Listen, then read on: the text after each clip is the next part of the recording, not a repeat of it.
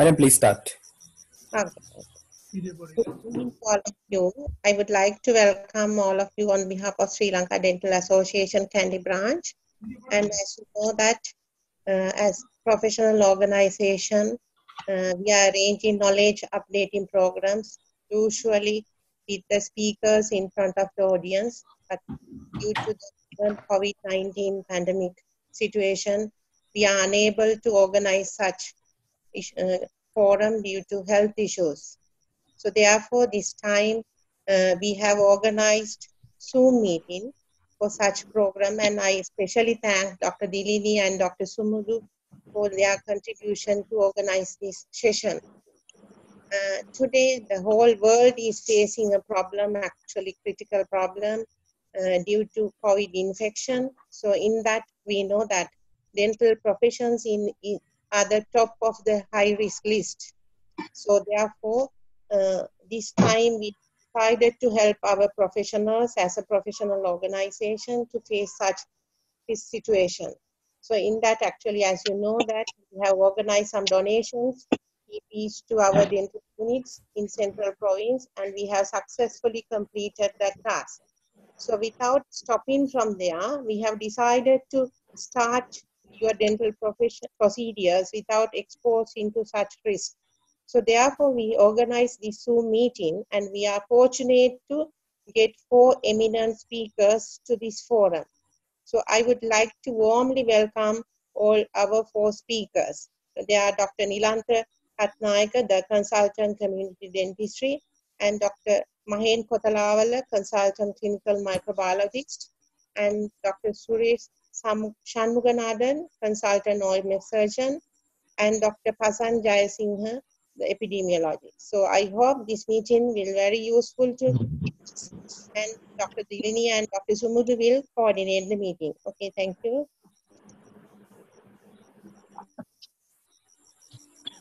Thank you, madam. Okay. Good evening, everyone. Good I'm evening. Dean from the SLD Kandy branch.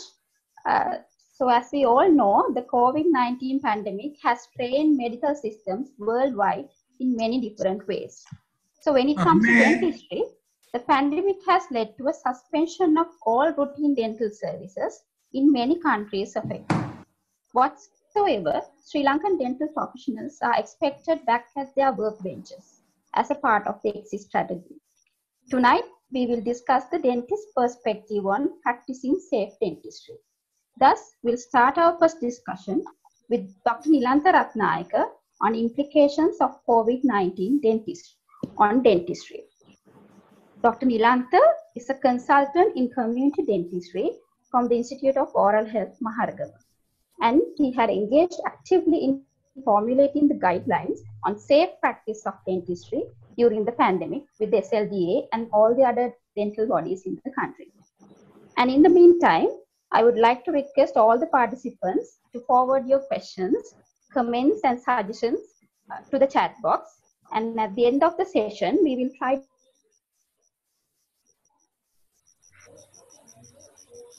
So for members, those who wish to ask your questions,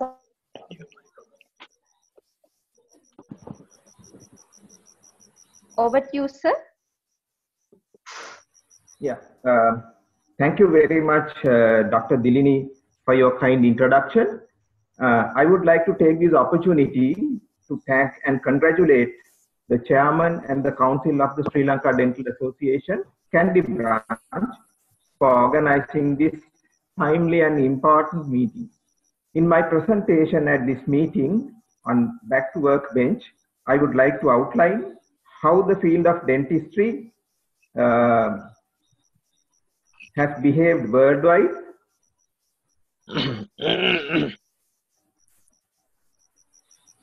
um, can you all see my slide?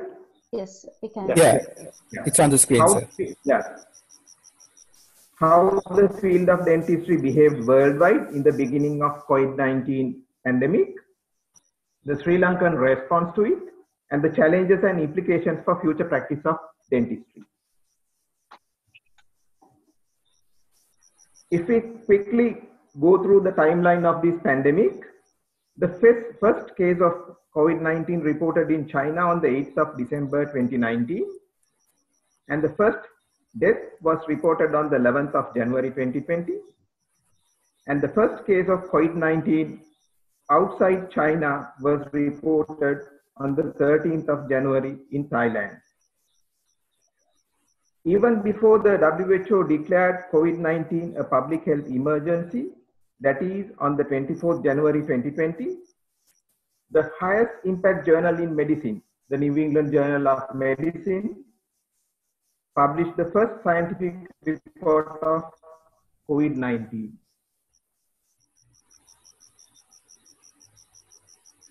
The same day, The Lancet, the second highest impact journal in medicine, published the second article on COVID-19, which elaborated the clinical features of COVID-19. However, it took further five weeks to publish the first article related to dentistry and COVID-19.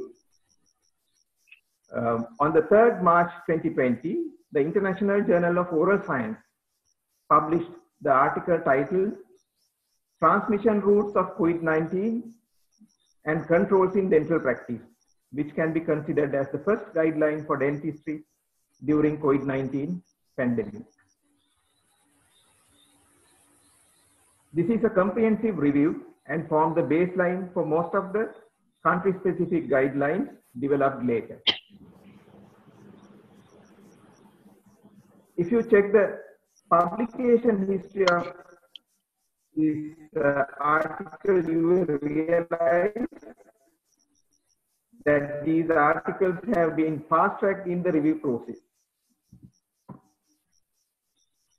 On the 12th March 2020, the Journal of Dental Research, which is the official journal of the International Association of Dental Research, as we know IADR, published the second article related to dentistry during COVID-19. World Dental Federation, FDI, in its website, recognized the contents of this publication as a COVID-19 guideline for dentistry. The four articles I mentioned in my previous slide are landmark publications in the scientific literature. They are based on Chinese populations by Chinese researchers. I recommend you to read them, which are readily accessible in the web free of charge. On the 15th of March, the New York Times, a newspaper based in uh, New York City, USA, published an article titled The Workers Who Face Greatest Coronavirus Risk. It reported a survey which looked into COVID-19 risk of various occupations which was measured by level of exposure of disease and close proximity to others on the job. This reveals the dentists carry a greater risk of contracting COVID-19. Another survey by US Department of Labor, which calculated the COVID-19 occupational risk score, revealed that dentists dental hygienists, and dental assistants carry occupational risk more than 95 out of 100. As such, by mid-March, globally there were pressures from dental profession for a restriction of treatment to prevent spread of COVID-19 through dental settings.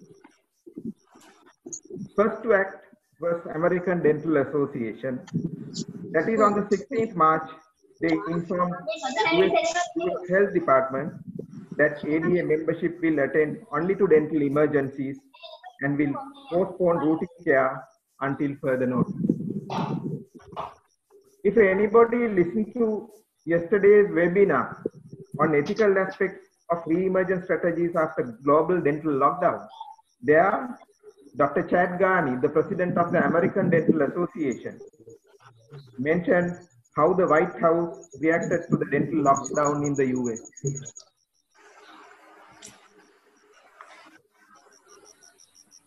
However, on the 26th March, the Centers for Disease Control, the prime body in the US for public health, endorsed the ADA decision and released their guidelines requesting dentists to postpone elective procedures.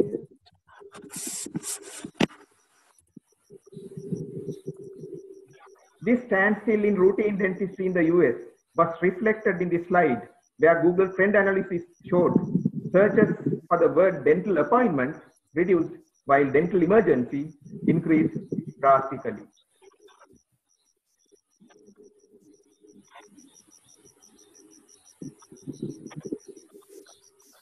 Like US, several countries such as Australia, Canada, New Zealand, and most of the European countries, they define their own levels of restrictions limiting routine dentistry.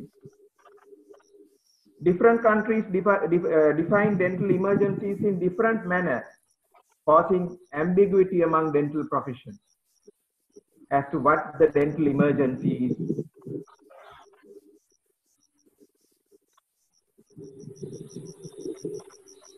This lockdown process was not smooth in all countries. In Britain, this open letter by the president of British Association of Oral Surgeons to the dental profession, which was later published in the Journal of Oral Surgery, highlighted aspects need to be considered in this pandemic by the dental profession.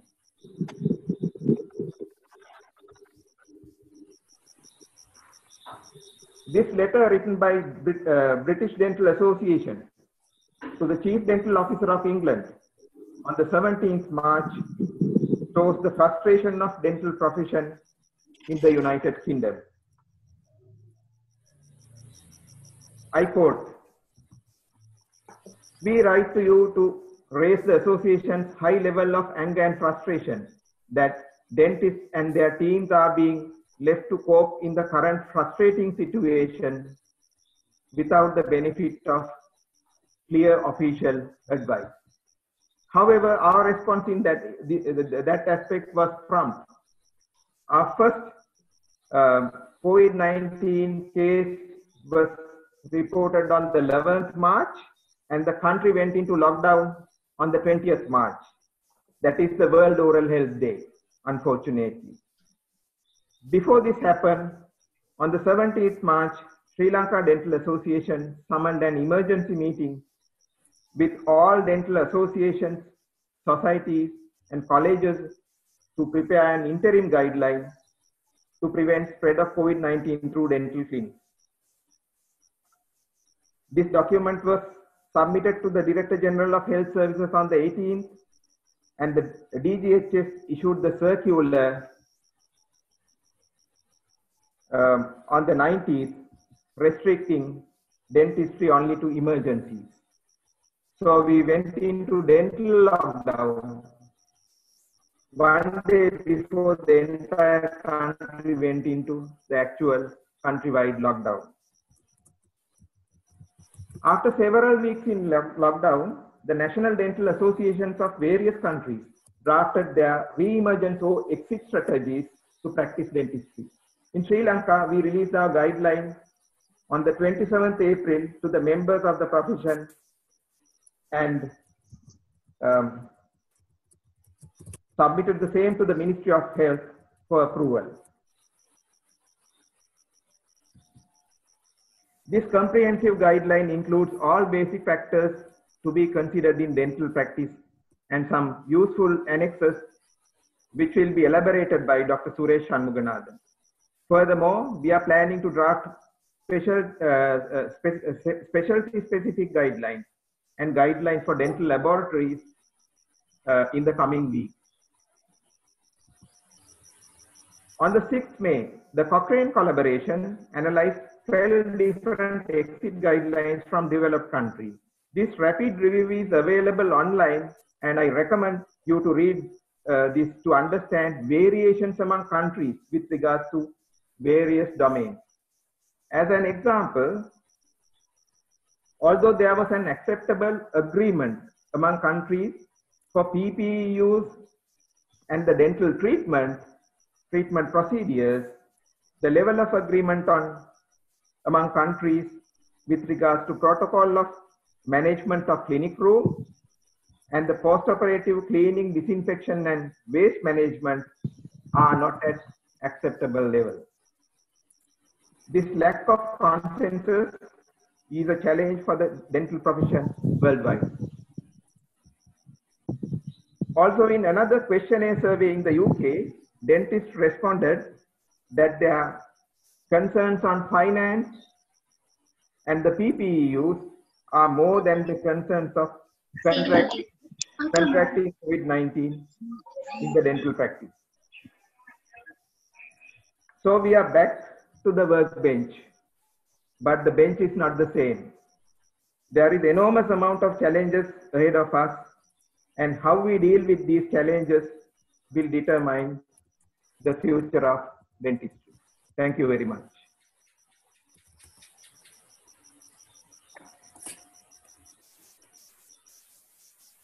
Yeah. Dilini? Dilini, uh, could you please uh, unmute your mic?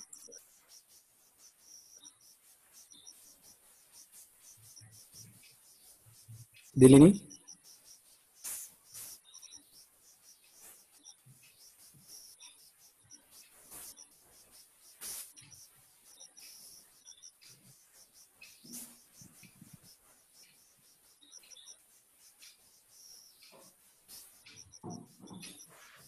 Could you please unmute your mic?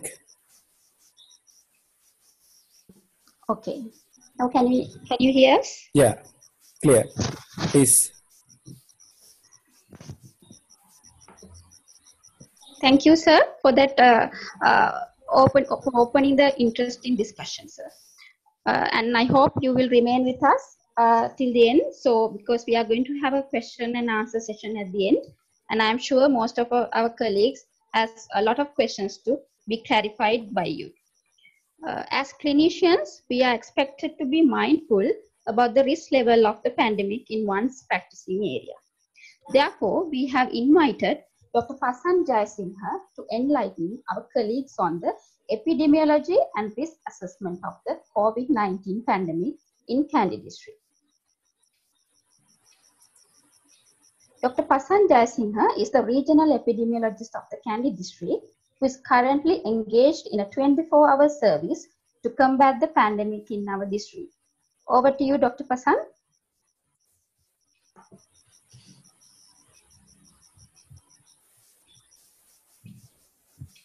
Dr. Pasan? Yes. Thank you very much, Dilini, uh, for your kind introduction. And uh, I would like to thank the Kandy branch of the Sri Lanka Dental Association to organize this valuable discussion at this critical situation.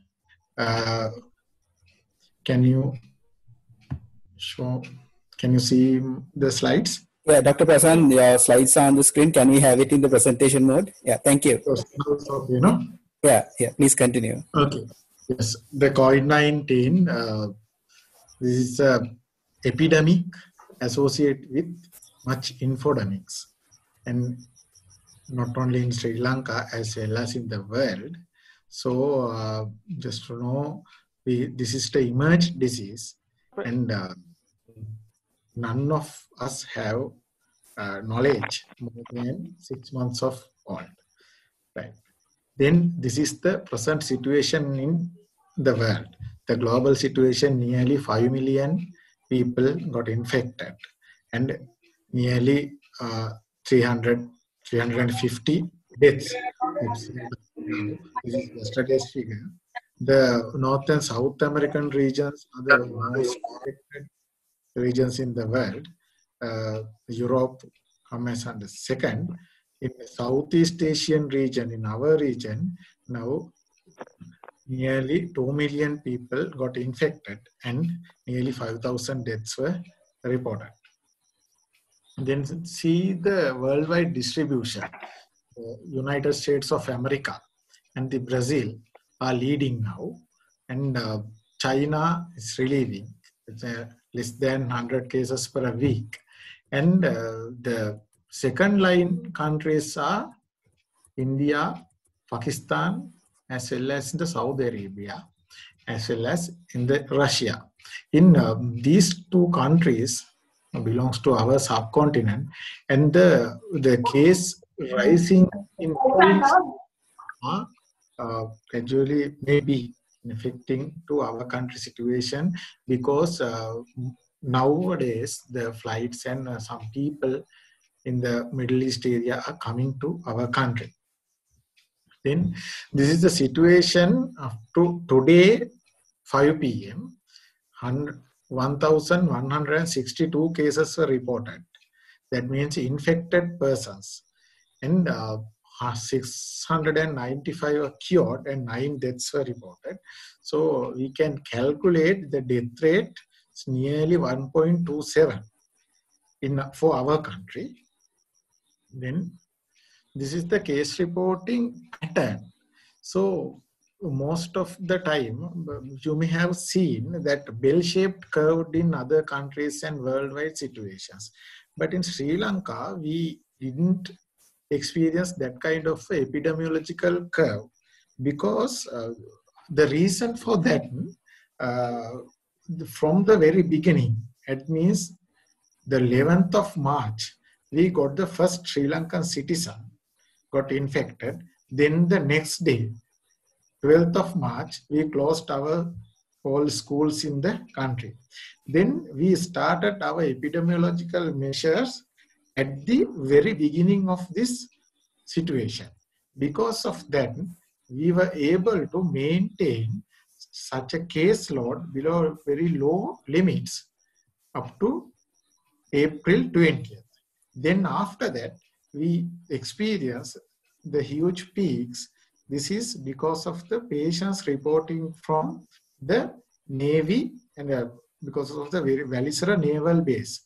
Then you can see there are two colors in this bars, uh, one of brown colors and the blue color ones. Blue color ones indicated the asymptomatic cases. That means when we got in uh, person as an infected one, that means we when diagnosed as an infected one, they didn't have any kind of respiratory or any kind of clinical symptoms. Laterly, they may develop symptoms and get cured. And other people, some people uh, didn't, didn't get any kind of clinical symptoms at the end of the disease. That means that when they become uh, negative for PCR test, but they didn't develop any kind of a disease. Those are the people who are asymptomatic and recovered. Now, uh, in 28th of April, the last day, we got a patient from community. After that, all of the positives comes from quarantine camps or Navy camps. So nearly up to now, 26 days. That means uh, nearly two incubation periods has gone without having any case from the community. This is the countrywide situation. Uh, can you see uh, the our Sri Lankan map divided into all MOH areas in this map. There are three colors, yellow, green and red. Red colors indicated cases presented within last 14 days. And the green colors cases presented but 14 days before and yellow colored areas, they didn't report any kind of COVID-19 cases. There are three places, so actually four places uh, uh, categorized as red areas. One of is in our area is a Yatinuwara, but this is due to the Giragama quarantine camp. Not none of the residences in our uh, areas got infected during last 14 days. This map is the uh, ministry publishment. That's why I got the map and uh, as I know some people outside the Kandy Central Province is participating in this forum. Then the Kandy district situation, these are the places we got cases. Actually, only 24 COVID-19 positives we got from the Kandy uh, district and some other people who are having residential addresses in Kandy, but they are still in the uh, naval bases and they have never, they have haven't come to their residences during last two months. So we excluded those people uh, uh, as a people belongs to district. Then we got first patient in this area is a Akurana. This is one returning from India. And at that time, we got all the family members were having clinical symptoms. So five people of that family got the disease and two other people, but they were not belongs to that family or were not contact history to this that family. And they directly coming from Indonesia and they got disease. And all other positives were members of the uh, Sri Lanka Navy and their family members. Right? So we were able to control the disease without transmission to the community Uh, beyond the domestic level. So as a MOH area wises, these are the distributions. We got cases from only from these areas, Yatinuwara, Ududumbara, Hasalaka, Livan patient, Galaha 2, Navalapitiya 5, Gampola 1, Hataraliya 1, Puja Pitiya 2, Talatoe 3, Akurana 7 and Manikina 1. Then Giragama quarantine camp, uh, 8 returnees from Middle East, but now from today 15 returnees from that Giragama quarantine camp got positives. Those people belongs to one flight which returned from Kuwait uh, last 5th of May. Then uh, transmission status of the infection in Kandy. Only case, first case that person could be able to transmit to four family members and case number 10 three family members case number 16 two family members and case number 21 one family member. Apart from case number one other three people are naval uh, from naval bases and uh, none of the persons could not transmit the disease beyond their domestic levels. So we, we, we didn't get any case from the community. Then the, as an epidemic, I want to discuss these three facts, most important three facts to consider in an epidemic. Is a situation, location, and the individual. So uh, the situations in the epidemics is changing day by day. So the we can't in, implement measures without considering the actual situation of the country. Uh, that means uh, sometimes uh, health sectors ask to wear a mask. In the it depends on the situation and the disinfection procedure. That depends on the situation and the risk assessment and all other things depend on the situation. So we can't say uh, China is doing like this, uh, Italy is doing like this. So why Sri Lanka is not. That's the situations are different because uh, the more the most important thing is our epidemiological curve not similar to other countries. All other countries started their epidemic control activities at the peak levels of the epidemics. But we started our measures at the very beginning. So all the time we are under controlling the epidemic. And the next time, next thing is the location.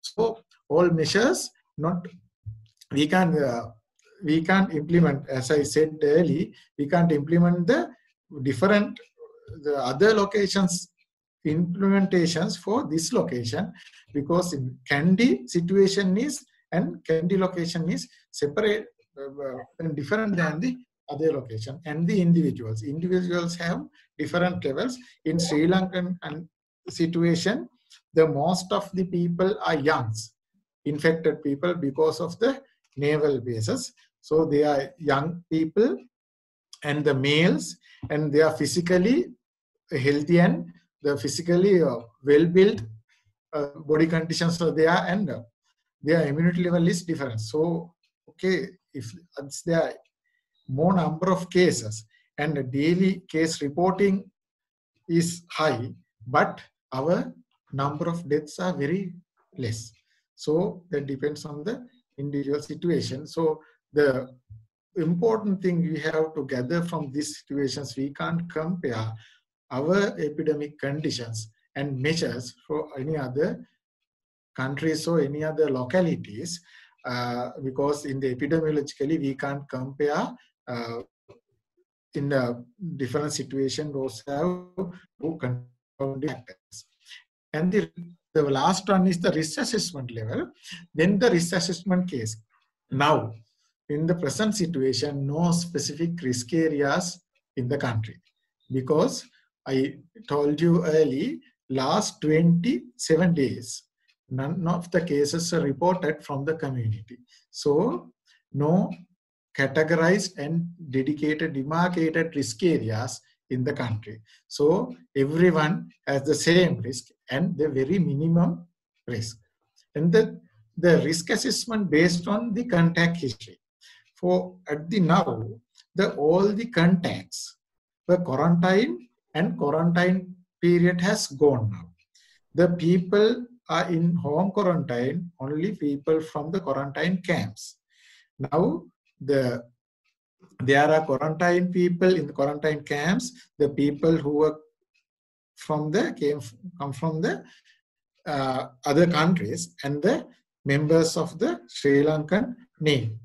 Those are the people. If pers if some person has direct contact history to a clinically or, and or laboratory confirmed case, then we can consider it as a contact history and the clinical conditions. So we categorize, so we screen as a person to suspect of a for a COVID-19 with the contact history and the clinical conditions. So we can't categorize people for according to their area or residencies or where they are coming from based on these situations. We can categorize people are coming from any other countries depending on the location, but in our hospital settings, they are coming from their residencies, so we can't categorize they are coming from a risk area. From tomorrow onwards, uh, the curfew and other restrictions will be releasing from the country based on this situation. In the contact history, did that con someone came from Italy or any other country,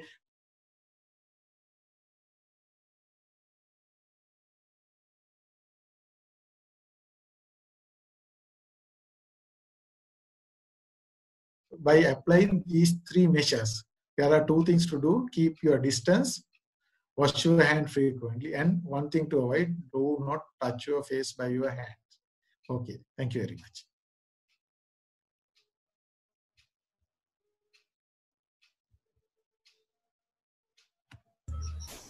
Thank you very much, Dr. Pasan. Thank you very much, Dr. Pasan. Okay, thank you. Yeah, okay. Uh, Dilini? Dilini?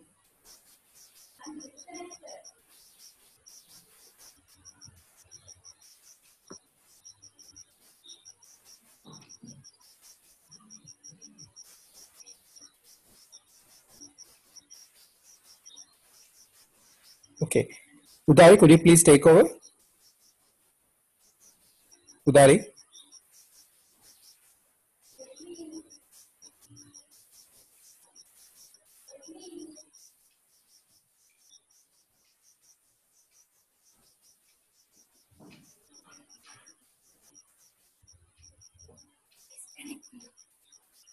Udari?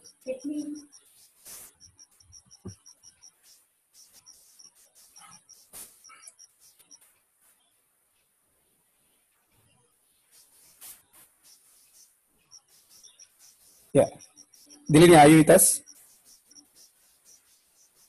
Dilini? Dilini?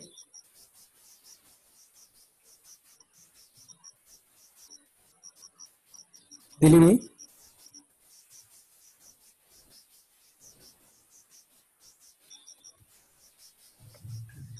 Dilini?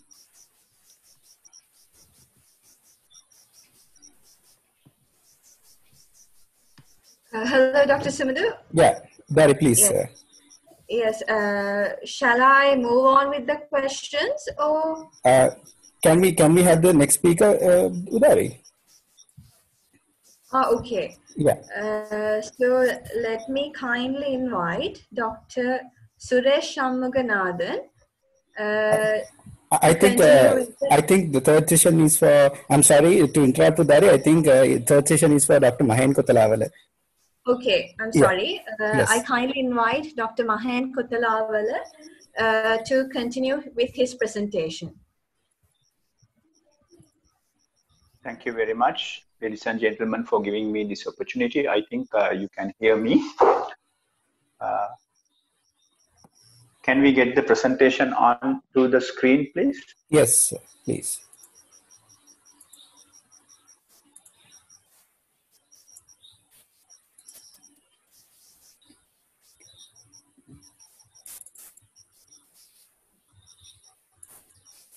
The presentation is on the screen, sir. Yeah, it's in, not in the. All right, thank you very much. And uh, my task uh, today is to discuss some aspects of infection prevention and control in this dentistry in COVID era. We can move from there. Yeah. Yeah. So uh, in my presentation, I will be focusing mainly on two aspects. One is risk assessment, uh, especially focusing the dental practice using SPE model, and I'll be talking about mass, which can be used in infection control. So those are the two broad areas where we can discuss today. Yes. Go ahead. Yeah.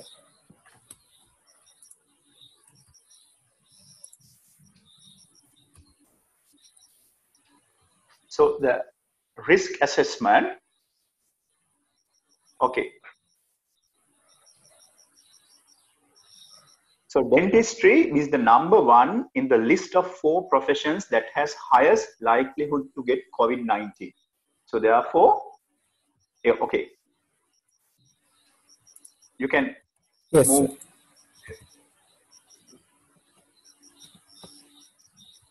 So therefore, all dentists should know the risk faced by them and they should know how to say, stay safe in COVID era.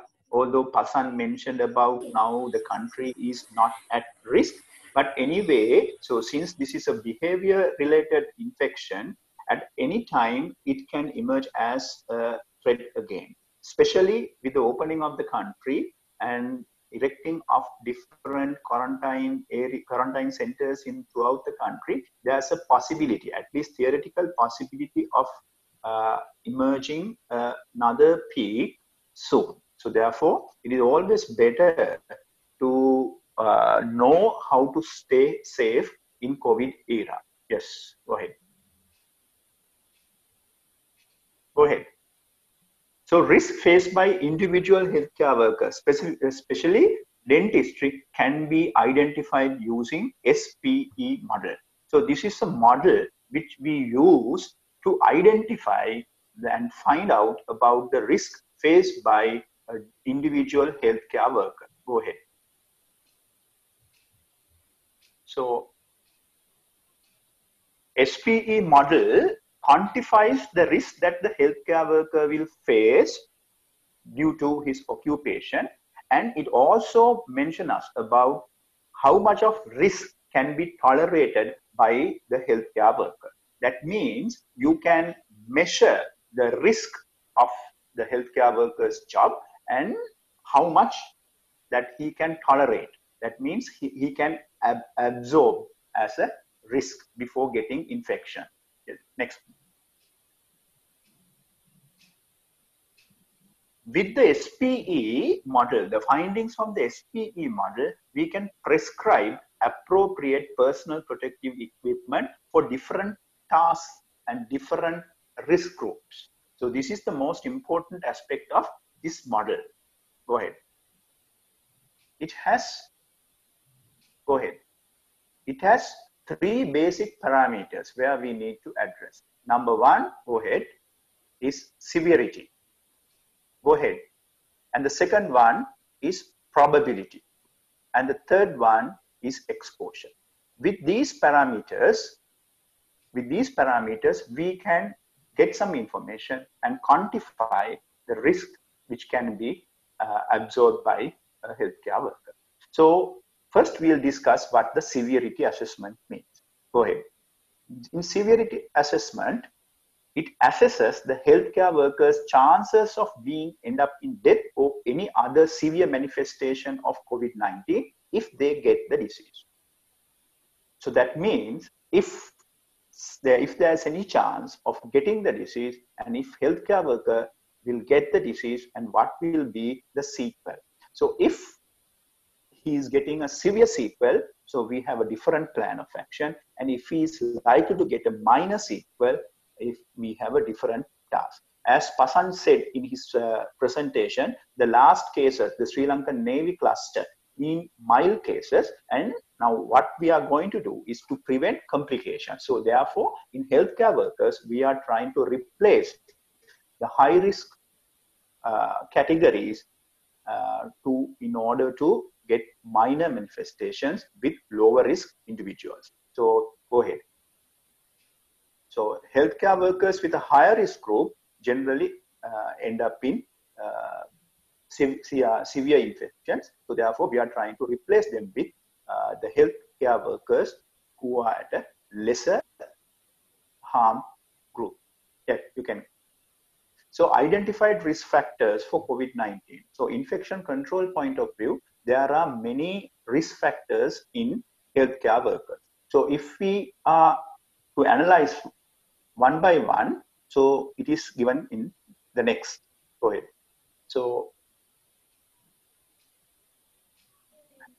So if the healthcare worker is over 65 years, or if the healthcare worker is having underlying health conditions such as asthma, diabetes, hypertension, or any other respiratory issues, cancer or healthcare worker in Uh, on cancer treatment, or if the person, uh, the healthcare worker has a compromised immune system, or, or patient is on, or healthcare worker is on immune suppressant, we are not allowing them to engage in high risk jobs, at least for the transient time period till we get over the COVID-19 outbreak. Go ahead. Therefore, we have to make all efforts to replace individuals of healthcare workers who are in high risk group with low risk healthcare workers. For example, recently we had some problems with uh, diabetic patients and elderly diabetic and elderly healthcare workers in our hospital. So we uh, effectively we have changed them and replaced them with more young and energetic, fit healthcare workers. So even the rare possibility of getting the disease, we can uh, minimize the sequels. That is the rationale of this. Go ahead. Go ahead. So the next one is the probability assessment. In probability assessment, we are assessing the probability of encountering SARS-CoV virus or the disease COVID-19 in clinical setting. Go ahead. If, go ahead. Go ahead. Therefore, we are trying it's going too fast, it Right. So with probability means the chances of meeting a patient with COVID in clinical setting. So therefore, we are trying to minimize the chances of meeting a patient with COVID-19 or SARS-CoV virus in the clinical setting, especially in this focus, it is for uh, dentistry. Go ahead. So what we are trying to do is identifying the risk and avoid it and we want to we have to have a triage in the setting and we are to plan what we are going to do and we have to prioritize our aims and minimize exposure time with the patient so by this way we can minimize the probability of uh, exposure to a covid-19 patient or uh, patient with uh, SARS-CoV. So if we do these things, we can minimize the probability of exposure. Now, the next component of SP assessment is the exposure assessment. Yes, go ahead. Exposure.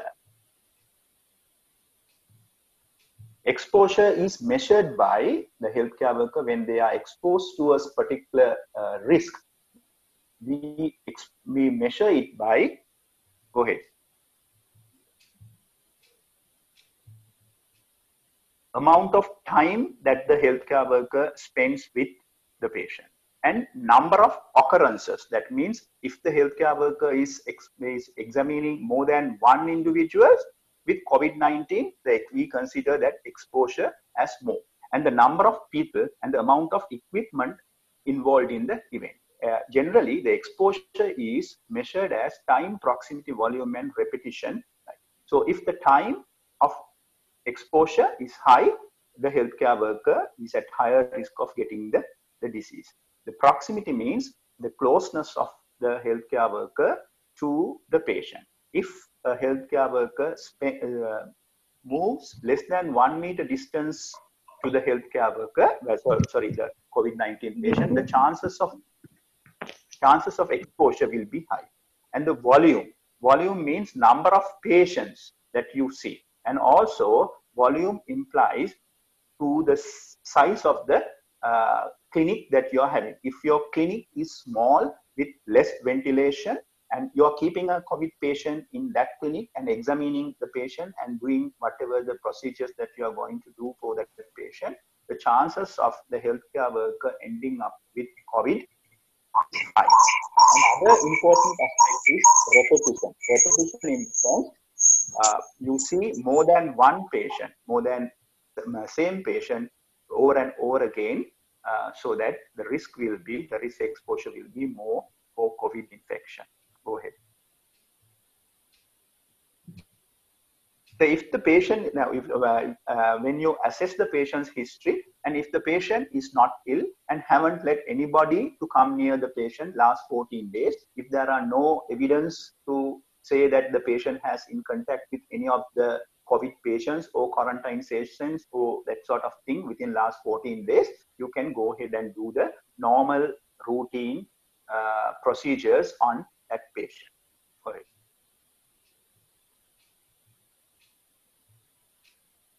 And if the regional epidemiologist, if you have any case, you can get the clearance from regional epidemiologists about the, the current situation, about the patients and the patient surroundings, we can consider it as a low risk exposure and you can go ahead and do the normal routine work on that patient. Go ahead. If the patient is from place where large number of positive patient kept, for example, a COVID hospital, a patient or healthcare worker coming from uh, COVID hospital for some dental work, or a person from quarantine center coming from dental work so these are the places where you can get a lot of COVID patients and therefore that sort of thing we have to consider as high risk and we have to take appropriate uh, precautions when we are attending the patients. Go ahead. Staying in a place where sick family members are kept. So we consider that as high risk area. So although now uh, there are no high risk areas in the country, it can emerge as very soon if the disease spread again as the previous uh, situation. So therefore, we have to always be vigilant and uh, act accordingly. Go ahead. So if there, if the healthcare worker is engaging in high risk activities such as aerosol generating procedure, the patient is at uh, the healthcare worker is at higher risk. Now for dentistry, since you are managing the patient, you are going to the close encounter uh, with the patient. So most of the uh, encounters with patient can be considered as high risk. And if you are not engaging in uh, aerosol generating procedure, just treating and getting history and that sort of thing, so that will be a uh, low risk uh, exposure for the patient for the healthcare worker. Go ahead. So ultimately, after analyzing the severity, probability, and exposure, we can calculate the risk that the healthcare worker face using all these parameters, the findings of the parameters multiplied and you can get the workout the risk. And if the risk is high, so you have to have a high level of precautions to taken uh, in order to prevent the disease. Go ahead. So after considering the parameters of the SPE, if you are facing high risk situation, you need a higher level of protection. For example, if you are engaging in an aerosol generating procedure, so you have to work accordingly. And if you are having a medium risk, again, you can tailor your precautions according to the risk that you are facing. At the same time, if you are in a low risk situation, after analyzing the SPE, just minimal level of protection is required. Go ahead. So generally, after analyzing uh, SPE parameters, we can recommend personal protective equipments for individuals. So if you are at a higher risk of getting COVID-19, so this will be the PPE yeah, you require. Go ahead. So here you can see a healthcare worker who is engaging in looking after patient in ICU. You can see a coverall, a visor, and a N95 mask, double gloves, covered shoes, and an apron. These are the things are recommended if you are closely uh, encountering a patient with COVID-19 and going into the care of that patient, right? If you are not engaging in, uh, go ahead. PPE recommended for a medium risk exposure is like this. What you need is a head cover and a surgical mask and an apron with examination gloves. So after analyzing the risk that the particular healthcare worker faces, you can prescribe, you can be prescribed any of the PPEs where you need to use. Go ahead. So this summarizes what the personal protective equipment you need in high risk areas and uh, uh, low risk areas. Again, you can see from the uh, photograph or the, the pictograph uh, for high risk areas, you need eye protection, eye shield, or a goggles or a visor, filtering face face piece respirator that is uh, N95 or N99 mask, long sleeved fluid resistant gown and a gloves. For uh, a dental specialist or dental practitioner who is engaging some procedure on COVID patients or high risk COVID patients, so this is this will be the uh, attire you require. But if you are engaging in some procedure, uh, not in close proximity, you can manage with this eye protection and fluid resistant surgical mask, disposable apron and examination gloves. So in this way, you can economize uh, your personal protective equipment usage depending on the risk that you face. Go ahead. Go ahead. So I thought of giving some information about mask because mask is one of the uh, important component in personal protective equipment list in dentistry.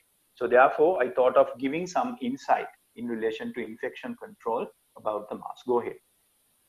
There are two types of mask, basic type mask in use. One is surgical mask, other one is the respirators. Go ahead.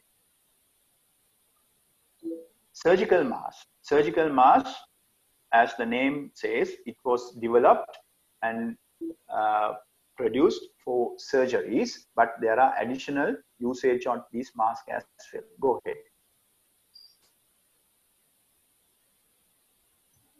And surgical masks are meant only for healthcare workers.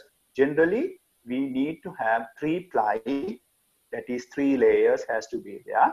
And, and according to the level of protection which it provides, there are three basic types of surgical masks and they were known as type 1 type 2 and type 3 or level 1 level 2 level 3 protection depending on the protection. Go ahead. Which they provide. And level 1 being the least protective and level 3 being the highest protective surgical mask. So when you want to choose a surgical mask for your practice, if you are suspecting a COVID patient, what you have COVID patient or patient, you have to go for level three mask or level two R mask. Go ahead. So the level one mask is the, go ahead is the one which is least resistant and provide least protection and level 3 is the mask which provide you most protection and it is the most fluid resistant one for dentistry if you are going for a surgical mask it has to be the level 3 or level 2 r mask go ahead ahead and for protection if you require additional protection for covid-19 especially when you are attending a covid-19 patient or a patient who has a higher risk to get to having COVID-19, where we need a respirator. And go ahead. So this is the surgical mask. Respirators. The respirators generally provide where a high level of protection, especially if you are engaging in aerosol generating procedure. Go ahead. Go ahead. And depending on the degree of protection, it provides three level of protection. They are N95, N99, and N100. N95 is the one which produced filtration efficiency of 95% of this thing and there are higher level of protections for N99 and N100. Generally for infection control uh, aspects in COVID-19 era, we in Sri Lanka recommend N95 mask. Go ahead.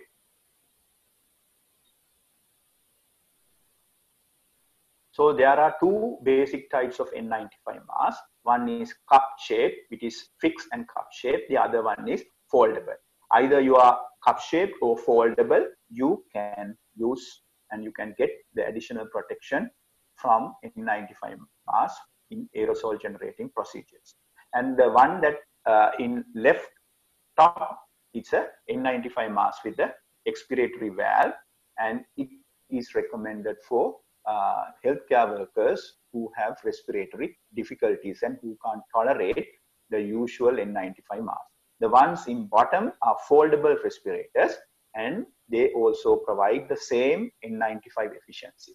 And for N95 mask, so you have to have the fit testing uh, done. Otherwise, it will be uh, useless exercise. Again, uh, the healthcare workers with mustache or beards can't use N95 mask uh, for protection. Go ahead.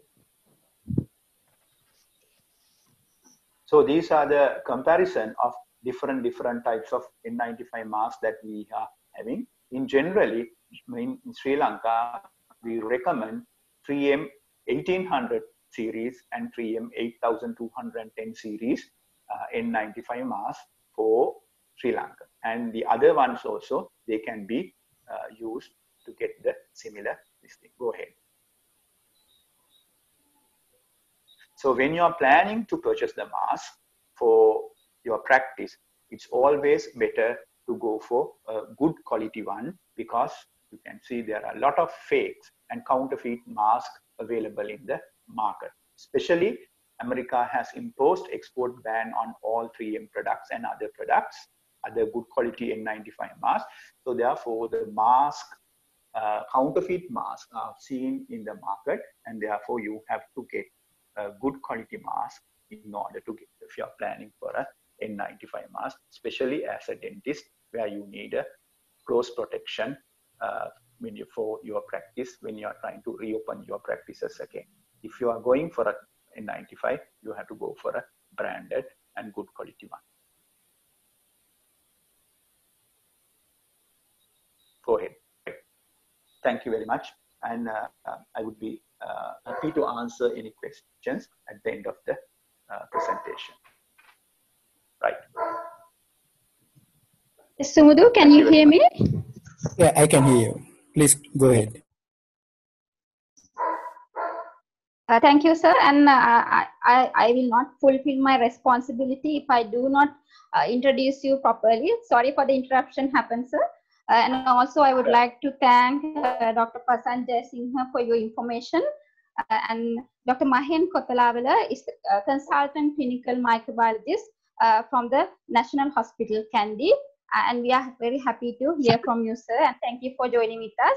Please do remain with us till the end because till the moment uh, uh, now until now we got a lot of questions uh, which which you might have to uh, answer uh, their uh, questions Right. and next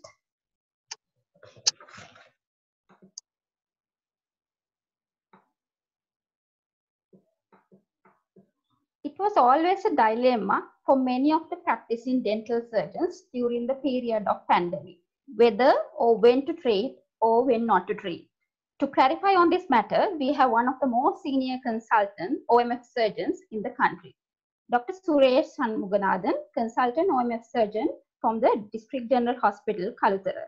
We are going to hear about the implications of COVID-19 on clinical management of dental emergencies. Over to you, sir. Thank you. Uh, can you share my slides on? eh,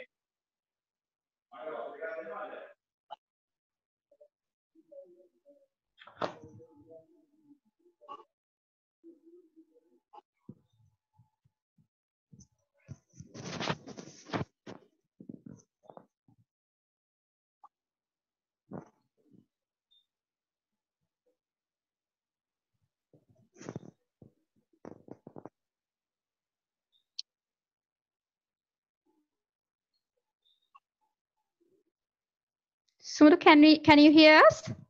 Yeah, can, Subodh, I think there are some interruptions. I want to uh, share my slides.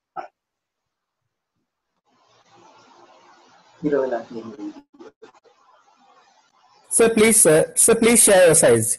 No, can you share, share my slides on? Ah, yes. Yeah. Yes. Please allow me a few seconds, sir.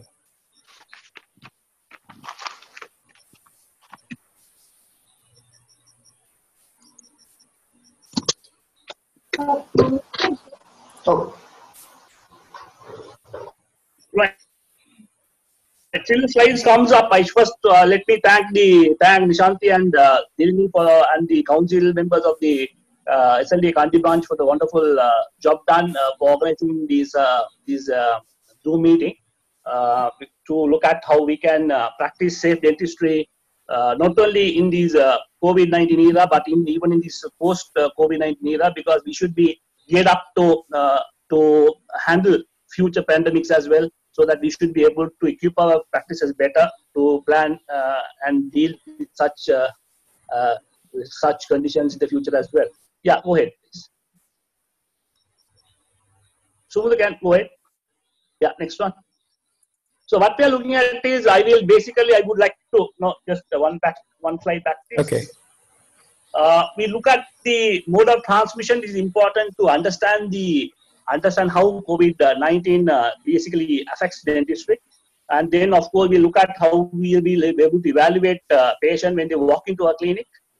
I'll, I'll spend of time on aerosols and splatter, which most of people are worried about uh, in their practices. And I think most of the other PPs have been dealt already by uh, Mahen. So I will just uh, rush through it. Yeah, okay, next one. So as we know, next slide, please. Uh, dentists have, have been uh, reported to have the uh, greatest amount of exposure to the disease. So we are at a higher risk group and how we are going to deal uh, with such uh, uh, high risk uh, labor. Next one. So if you look at it, uh, next one please. If you look at it now, we have so much of guidelines.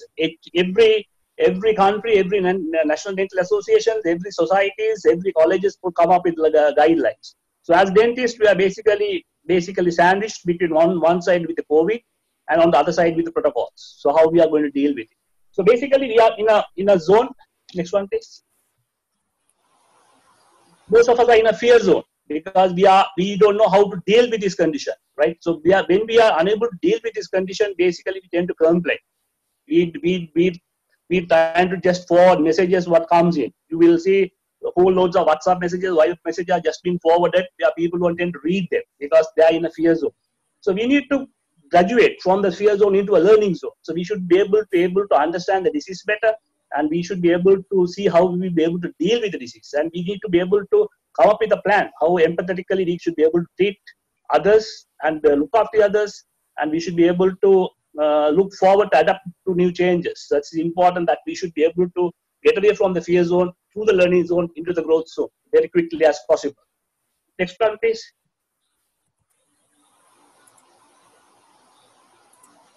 Next slide, Sim.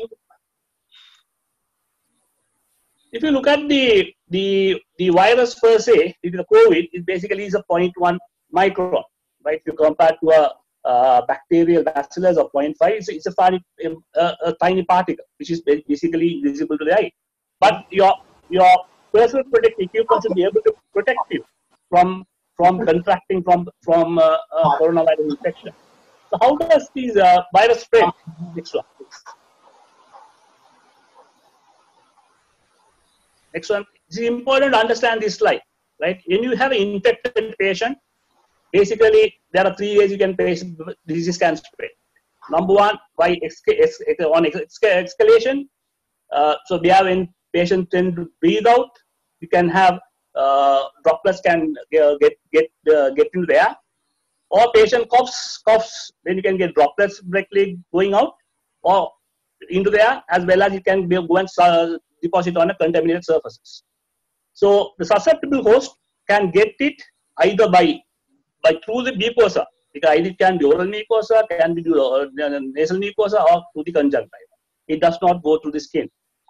It's important that we need to protect the mucosa. As a, as a dental surgeons, we, we basically we work very close to the patients and our our face is very much in close contact or not close contact much very much closer to the uh, patient's mouth. So it's important that we need to protect our face well so that we prevent inhaling uh, these droplets or these uh, uh, droplets. And also it's important that to patient, that we should have a very good hand hygiene so that we when we have a contaminated surfaces we don't get our hands infected and then through the hands we tend to infect our uh, touch our mouth, mouth, nose or the eyes so that is an important thing that is important preventing it's important to know that covid does not spread airborne it's not spread by airborne so therefore there is no droplet nuclei so the eye can spread for for for longer uh, for the for a longer distance to have airborne infection. So basically, we need to look at how we can control the droplet infections. That is through having good uh, PPEs and then of contaminated surfaces. How we are going to basically clean the contaminated surfaces with adequate uh, with appropriate disinfectants. Next one, please. Ah. Next one, please. Next one.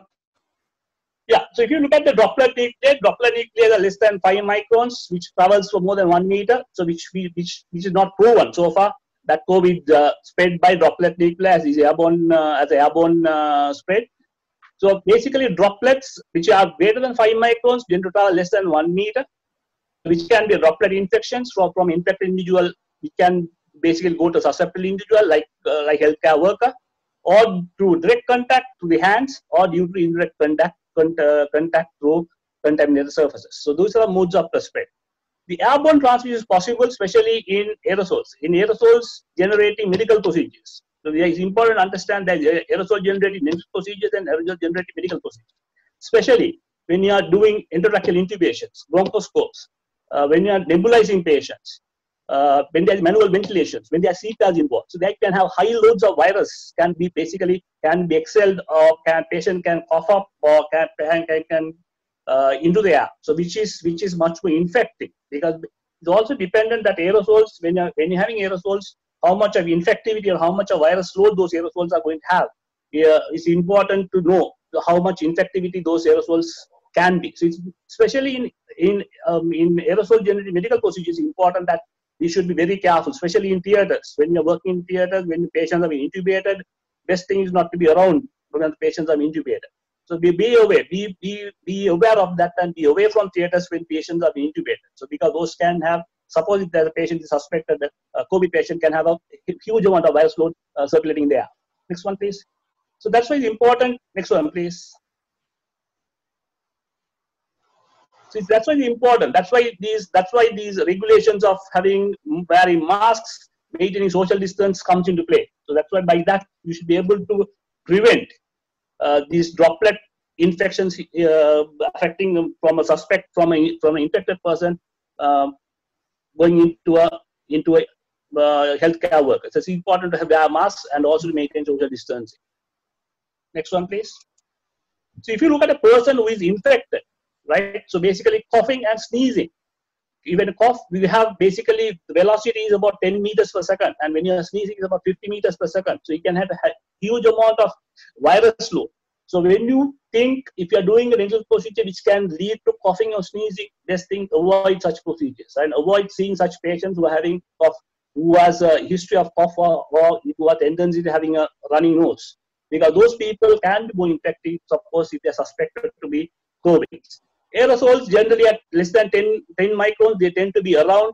And when you exhale air, again, that can be within 1.5 to 2 meters. That's again by social distancing and, and using face masks, you should be able to cover it.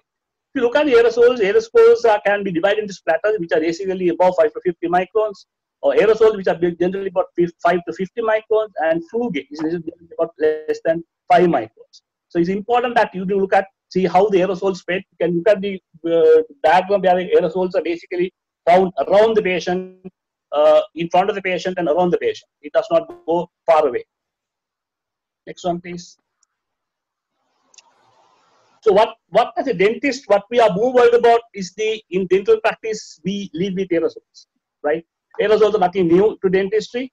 They have been with aerosols for the last 50 to 60 years. And there aren't, to date, there aren't a single reported case where aerosol, uh, the, from, from dental aerosols, healthcare workers have got infected. We have been working with, there are some airborne diseases like tuberculosis, there are measles, and but there aren't so far, there are no reported, reported cases where you find due to aerosols, people have got infected. Important thing is look at this slide. I would like you all to memorize this slide.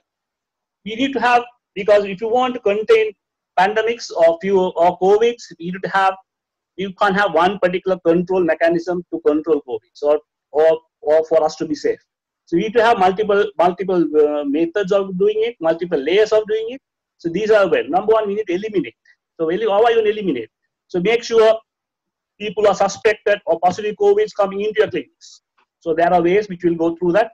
Then we need to look at how we can change the practice so that we incorporate certain systems within the, within the within your clinics so that which can basically avoid uh, or increase the circulation, a better air in your clinics. Then of course you should important thing is to you and your workforce, that is your then the, the nurse assistants, your receptionist, everybody knows how to handle patients, how to, you should have work policies for them. You should have guidelines for them. And then how you should, you should not only have guidelines, you should have practice among them and have frequent meetings with them to make sure that you reinforce whatever administrative controls we have. PPE is the least effective, right? This is a personal protective equipment. If you can, if you can start from the top, eliminate the one by one, then PP at least comes last so that you are able to protect yourself uh, with, uh, uh, with whatever uh, patients who are coming into uh, coming into your practice. So how are you going to eliminate patients, right? So elimination patients number one, as uh, Pasan said, we basically look at how, now actually there is no no uh, basically we don't have any risk at the moment because at the moment we have only 487 active cases. Basically, basically there are two clusters basically in the navies and then people are coming from abroad. So it's important that as professionals, all everyone should know to look at look at the risk factors and how buttons, how every day, every hour update yourself, seeing what where the what are the infected cases, where are they, in what are the locations is important to update because what I'm telling now on the 25th of May at 8 p.m. may be different tomorrow, right? So what I'm telling today is evolving thing. So you should be able to apply in the area. Somebody working in Monaragala should not have any problem, should be able to go back to practice normally and work because there aren't any clusters or they have never been a case been reported. So you should, as, as renal surgeons, we as a professional, we should take charge, you should take responsibility and see, assess how you are going to work. You should have your own workflow because guidelines are basically guidelines to tell you how overall you can work. But you should, every practitioner should have its own workflow, how we are going to get the patient in, how we are going to treat them, how we are going to, what are PPs needed for them, how are you going to, after that, how are you going to uh, dispose those PPs, how are you going to uh, manage the waste. It's important to look at all those things. So the important thing is social distancing. So avoid people coming into your clinics in large numbers. So where as possible, give appointments. Appointments, if you can over the phone, you can do that. If you can better very quick, make an appointment system.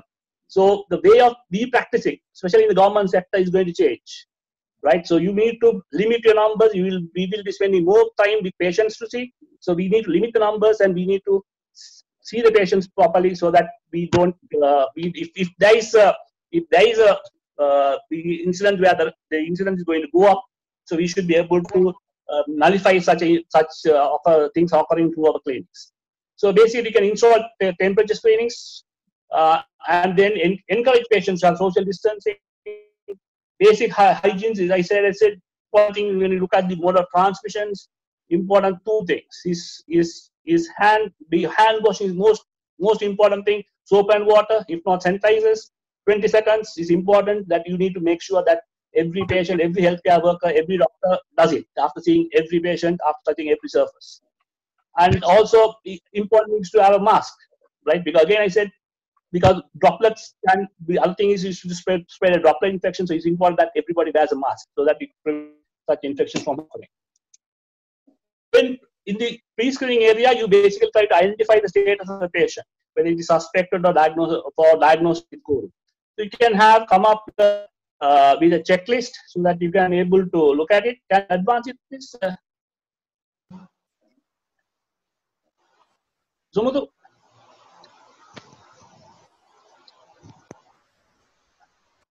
Sumudu.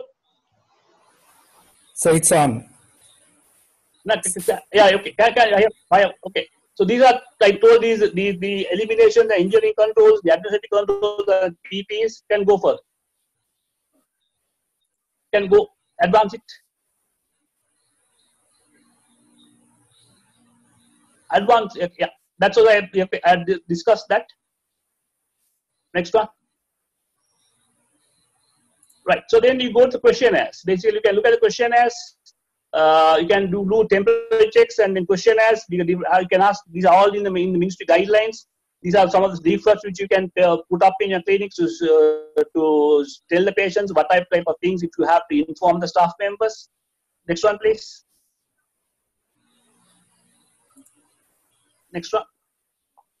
And these are types of checklists you can have. Tell the patients to fill them up. And then when they come, you check them again. So you can have multiple levels of controls within your practices so that you are preventing anybody with possible COVID or possible suspected COVID coming into your practices. It's important that you have to take responsibility. You have to make sure that your your assistants are doing that, or reception is doing that, filling it up, and then you recheck them so that you have multiple levels of controls to prevent things from happening. Right. So if you can, if you have these all these symptoms, make sure that they don't come into your clinics. Yeah. Next one, please.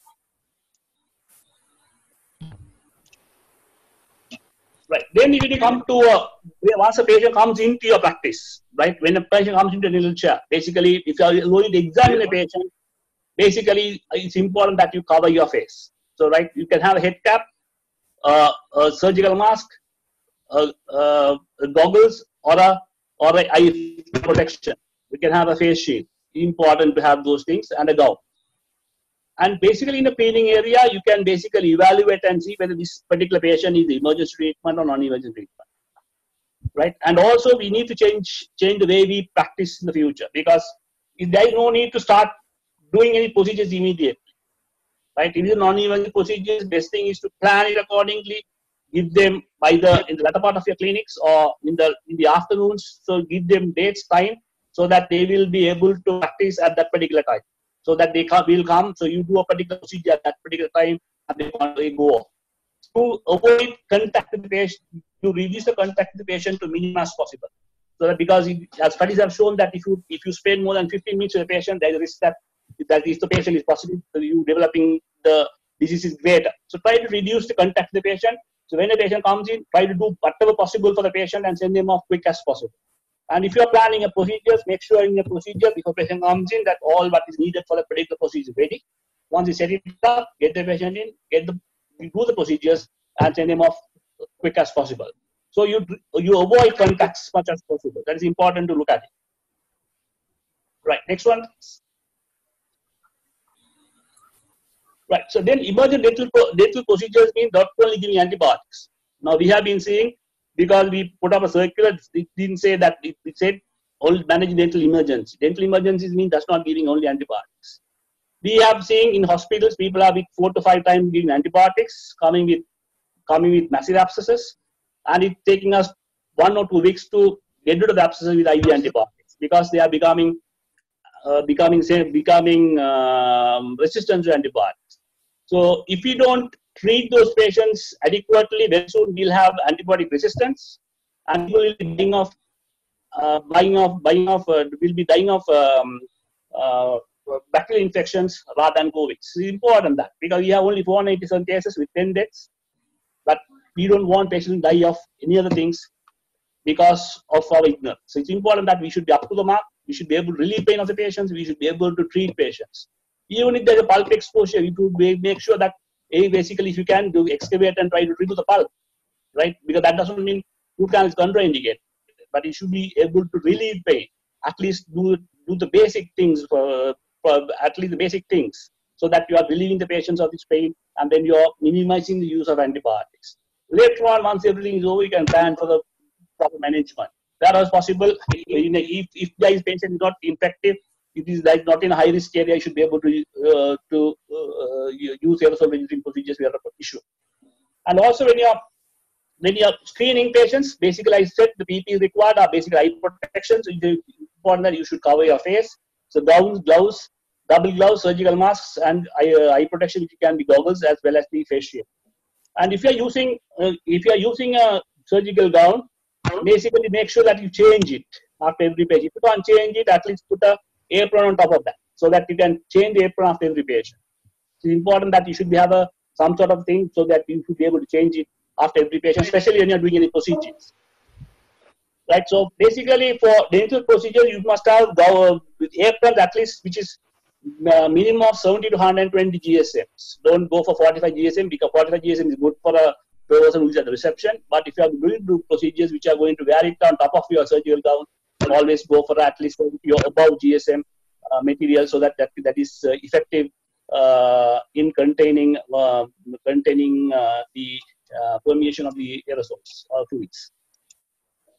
Then, if, you are, if a patient comes in emergencies and patient is suspected of COVID-19, that is a case we, we probably most of you will not treat. Most of you might be referring them to consultant units so in that case, it is important that we may need to have this hazmat uh, suit wear, where we have cover from head to toe uh, with a with a gown, so that we are more protected when you're dealing with uh, positive patients. In other than that, I don't think hazmat suit is needed in practice. You know, are using it in dental clinics. We are covered from head to toe, uh, which we are we are basically you are you are boiling inside that uh, without ACs on. So it's not necessary for that because basically I will go to it.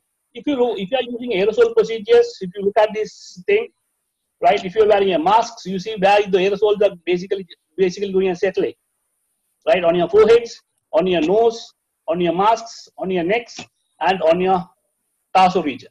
And on the basically most of the aerosols are on the patient, right? So it, it depends on if you're sitting and working or whether you stand and work. If you are going sitting and working, the risk of you exposing is more. If you stand and work, the exposure is much more less. And also, so therefore, it's important that you protect these areas. Next one, please. Sumudu.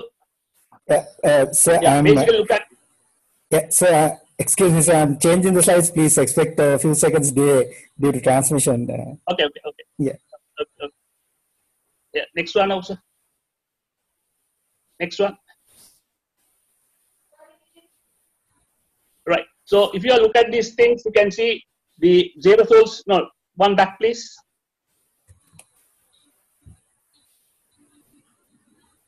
If you look at this thing, you can see the aerosols we are settling in on the foreheads, on the nose, on the on the on the masks, on the trousers of the uh, operators, on the assistant, on the uh, on you, and on basically most of the aerosols on your on the patient. Right? So again, it depends whether you are going to stand and work or whether you are going to seated and work. If you're going to seated and work, the exposure is greater. They are to stand and work, the exposures are lesser. So again, so therefore, it's important that you protect those areas. So it's important that you protect your face, you protect your neck, and you protect your torso. So that's why I said, wear a surgical gown, we wear the protections for the face. Next one, please.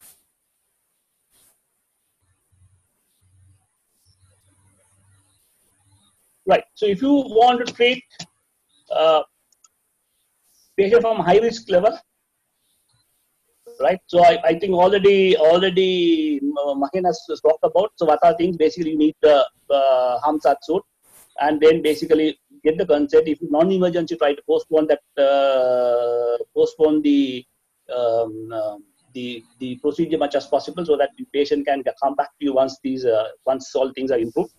Next one, please. So these are types of suits you don't need actually. This basically, unless the patient is uh, COVID positive, you can have this hazmat suit to wear with the boots and all that. So that is basically protected. Uh, other than that, basically a cover is, is generally adequate enough from head to toe. Uh, basically, these are basically made out of uh, garbage bags. Uh, this from head to toe cover on top of your surgical apron when you're doing procedures is, yeah. is adequate. Next one, please.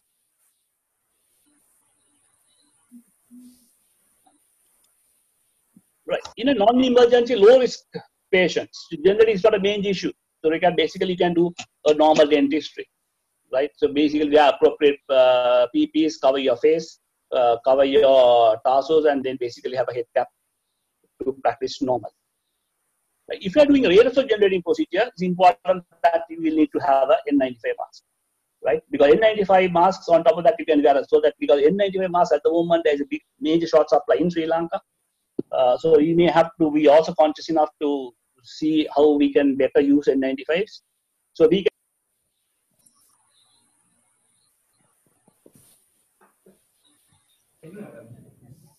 you can use uh, use a surgical mask so that surgical mask can be changed after every patient so that you can keep on the N95 for that particular sessions uh, through. Uh, CDC recommends that you can use N95 for five days. There are ways of doing it uh, which I think Mahen Khan will be able to uh, elaborate further on discussions. Next one, please. Right. Basically, look at the aerosols and splatters. Now, a lot been talked about, and a lot of studies have been done. This is a study from 2004 of, of the. If you can look at this picture, they are, they are using a, a, a saliva ejector, and they are non-active uh, high high high suction device. And on your uh, left hand side you will see a saliva ejector with a active high volume suction. It is important when you're using aerosols to use high uh, high uh, high volume suction. It's very very important so that basically if you use high evacuation suction it is proven. Next slide please. About 90% of the aerosols are absorbed. What i mean by high volume suction is high volume suction which is effectively working, right? Because having a volume suction which does not work is not good enough in your practices. So it's important that we should have a very good uh, high volume suction so that we be able to uh, take at least 90% of the aerosols out uh, from the mouth. So you're only left with only 10% of aerosols which are going out. So these are studies which have been done. That's one 2003 study with the air handpiece without high volume suction. You can see the aerosol displacement piece. You can see the aerosols which are dispersing. Next one, please. That is again, if you do the high suction, right? You can see all the uh, almost hardly you see any aerosols being dispersed in the, in the environment. So it's important that we use a high volume suction in all your procedures. If you look at a micromotor, you can see the splatter, what is happens in micromotors. Again, if you use a high suction, again, those splatters should be able to be, uh, you should be able to control those splatters as well. Next one, please. So in aerosol control is important that you should have a high volume suction.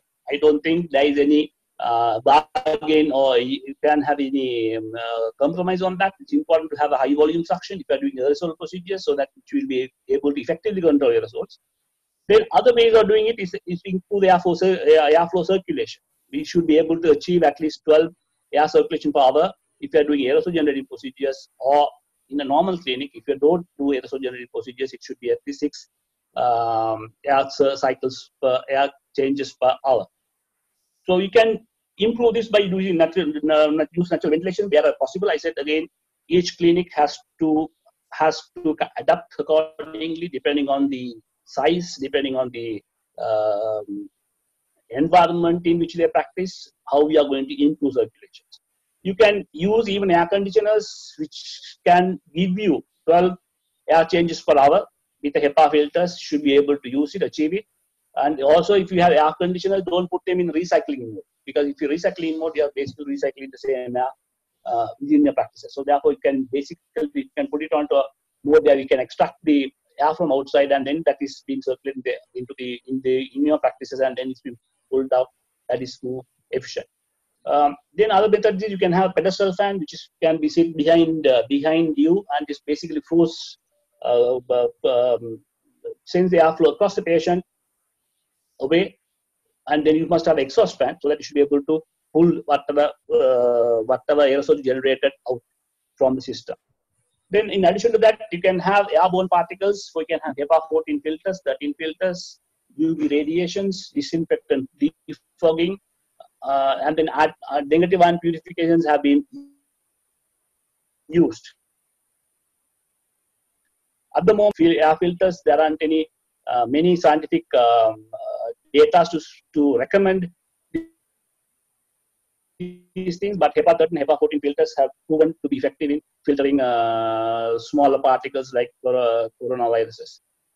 The newer thing is about external uh, air, air, suction. Again, it is new in the market. Still, we don't have scientific data to say that is effective and whether it is controls the aerosol. I said again, most aerosols are basically on your on your face, on your torsos, and on the patient's uh, uh, torsos. So it's important that basically aerosols are basically goes up and falls down. That's only if you have very good suction, only 10% of the aerosol is going to get out of the system.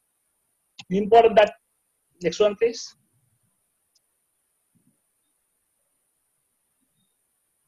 Of course, important how you will wear and uh, donning and doffing the uh, the PP is very important. The sequence how you do it.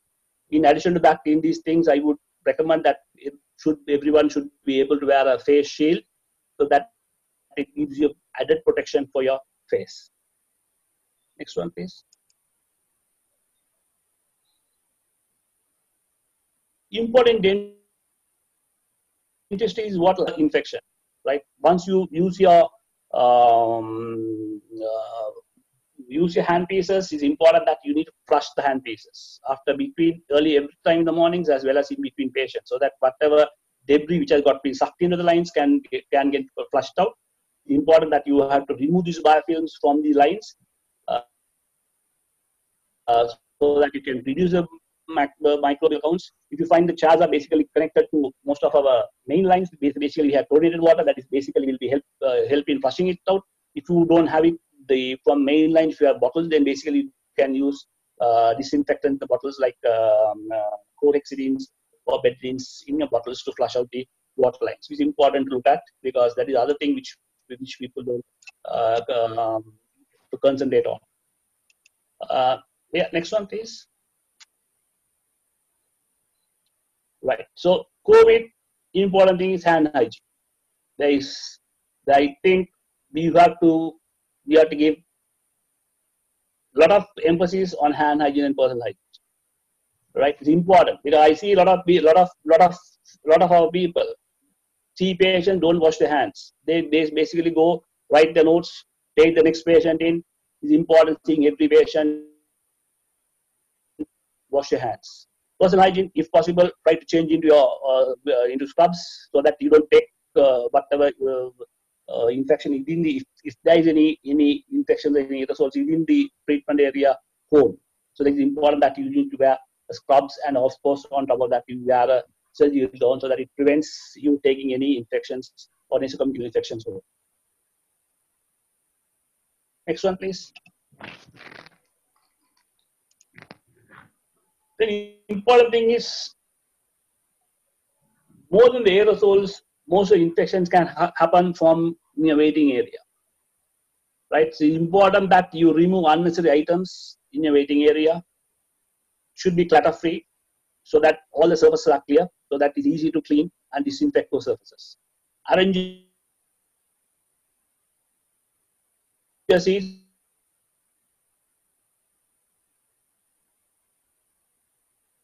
of 8.1% sodium hypochlorite. Important, wipe the door handles, reception desks, every day. So it's important that you need to prevent uh, cross contaminations from those areas. Inside the clinics, after treating every patient, the dental chair, the spittoons, suctions, all the metal items, instruments, your your uh, um, tabletops, uh, floor needs to be cleaned, wiped with appropriate disinfectants. That is all that is in the guideline. You can go through that. So it's important that you need to clean. You have to concentrate. You have to spend more time with the patient, treating the patient, and after treating the patient, you have to spend time to get get the clinic clean properly so that you don't have any any sort of uh, particles or any sort of aerosols left uh, left behind. Because generally after aerosol procedures, it takes about 10 to 50, uh, 10 to 30 minutes for the aerosols to settle down. If you are not used the high suctions, whatever remaining uh, to settle down. So it's important that you have to uh, spend some time to clean that up. So that if you're using and you're planning for aerosol generating procedures, if you're if you don't have the adequate uh, facilities to control it, make sure that you do it the last thing in the uh, in your day, so that uh, once you finish all the procedures, so that you can knock off for 10 to 20, 20 minutes, finish it off, and then clean it up, and then you can close your clinics. Next one, please. Then public areas, important that you need to concentrate on public areas as well. Uh, there are, are elevators, you make sure that they are infected uh, properly and the common toilets are to be infected regularly. And make sure people are in any way have their uh, masks properly and they uh, uh, having contacts with buttons or the objects. So these are methods where we can basically uh, eliminate any possible uh, spread by contacts. Next one, please. Then personal protective equipment is important because once you use your personal protective uh, uh, equipment, I see a lot of people remove remove their surgery gown, just put it on the table, leave it on the table and go. Remove the mask, leave it on the table and go. Then come back and get it again. That's not ideal. If you once you use the use your uh, aprons or your surgical gowns, make sure that if it's disposable, put them into yellow bags. If it's a reusable, put them either directly into your washing machine or basically put them and soak them in detergent for 30 minutes. Face shields, goggles, basically wash them with soap and water or 0.5% hypochlorites. It's important that you, you follow these protocols uh, properly because otherwise these things can can be a source of needers of needers for the spread of infections to happen. In dentistry, the important thing is about because we do a lot of lab works. So important that when you're sending uh, your specimens or sending your models or casts to labs, they should be disinfected before it's been sent to the uh, to the labs. It's important that before you before once you take an impression, wash it in um, uh, running water and disinfect it as appropriate. So you can depending on the type of materials what are using.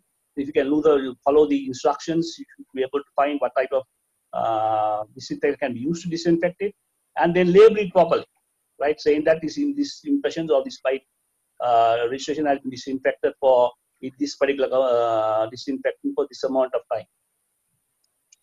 Next one, please. Yeah, about the lab, lab size. Uh, yeah, next one, please.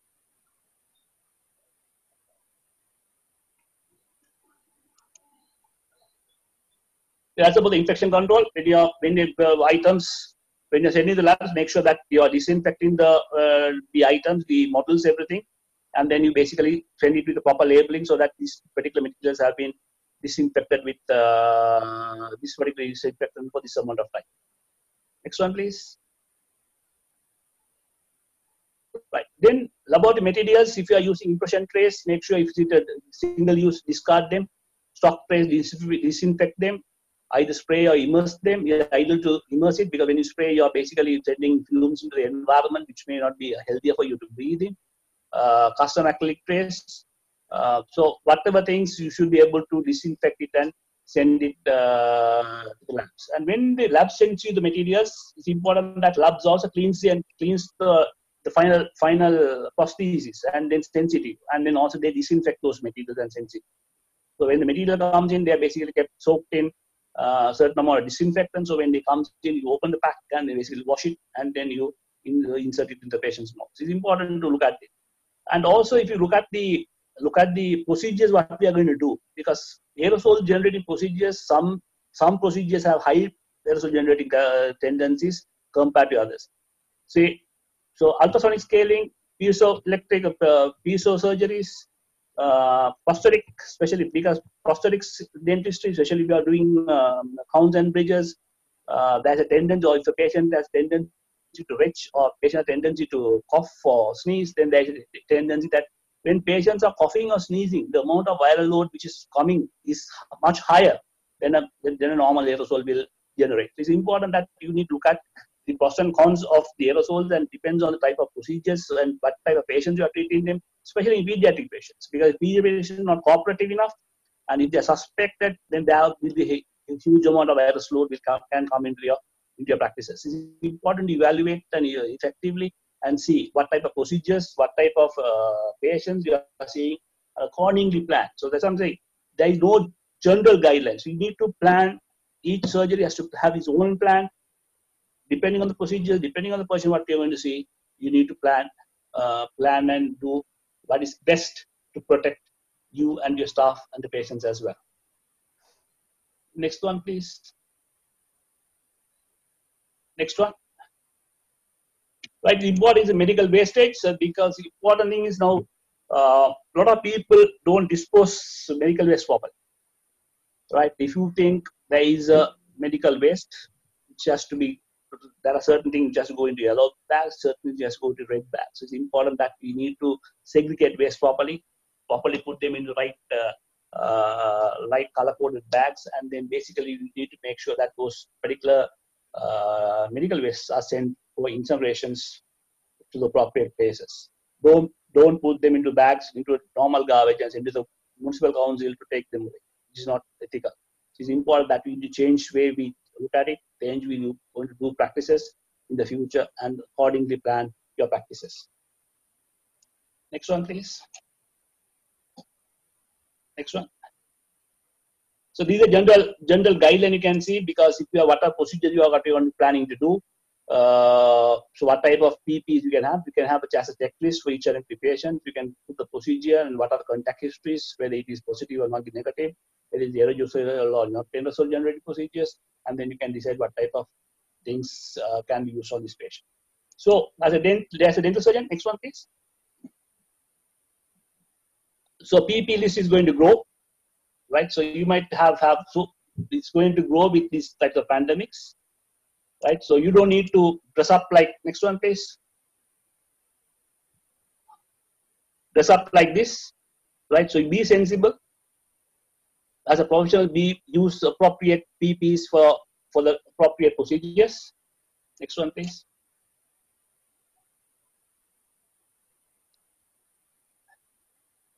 Right, so have changed over years. Right, if you look at it uh, from the years to now, so it is changing, so it's evolving. Even look at even us when we started practice, when we were when we were students, we had only one surgery gloves for the whole term so things have changed right? So practices changes so we need to change. Yeah. Uh, next one please. Hope you don't have to work like that. Right so important thing in this final slide i would need just to summarize it. Next one please. You can play that video. Uh, uh, Sumit, top one.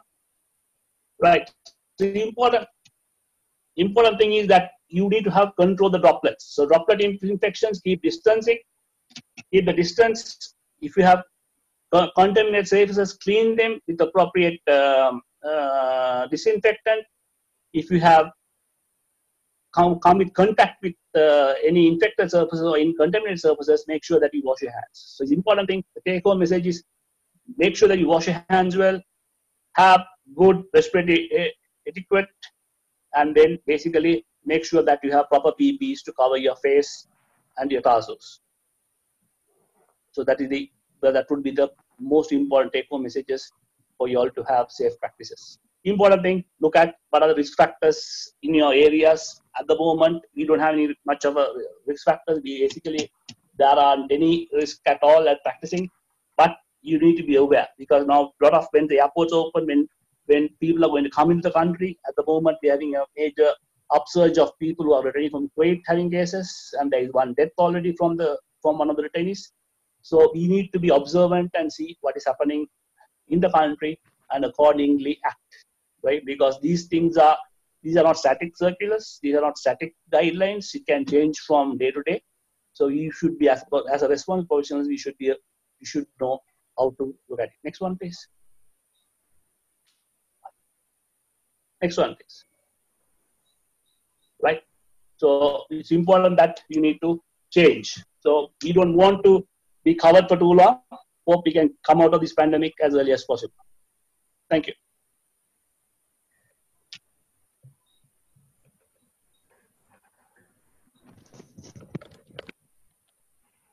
Thank you very much, sir. Can you hear me? Yeah, can. Yes. Uh, thank you very much, sir, for your informative uh, presentation. Uh, and uh, as you have uh, over and over again, you have mentioned uh, that uh, whatever we have discussed today by this panel would not be valid for tomorrow. Uh, so I think uh, it's our ethical and moral duty to keep on updating because nowadays the life half life of dentistry related knowledge is shorter than ever so uh, without taking much time uh, we are running out of time so without taking much of time uh, we'll move on to the question and answer session uh, so uh, dr Udari Abeyasinghe from our council uh, will help us to take this forward. So, yes, Udari, are you there? The first question is by Dr. Ramya Vijayatunga.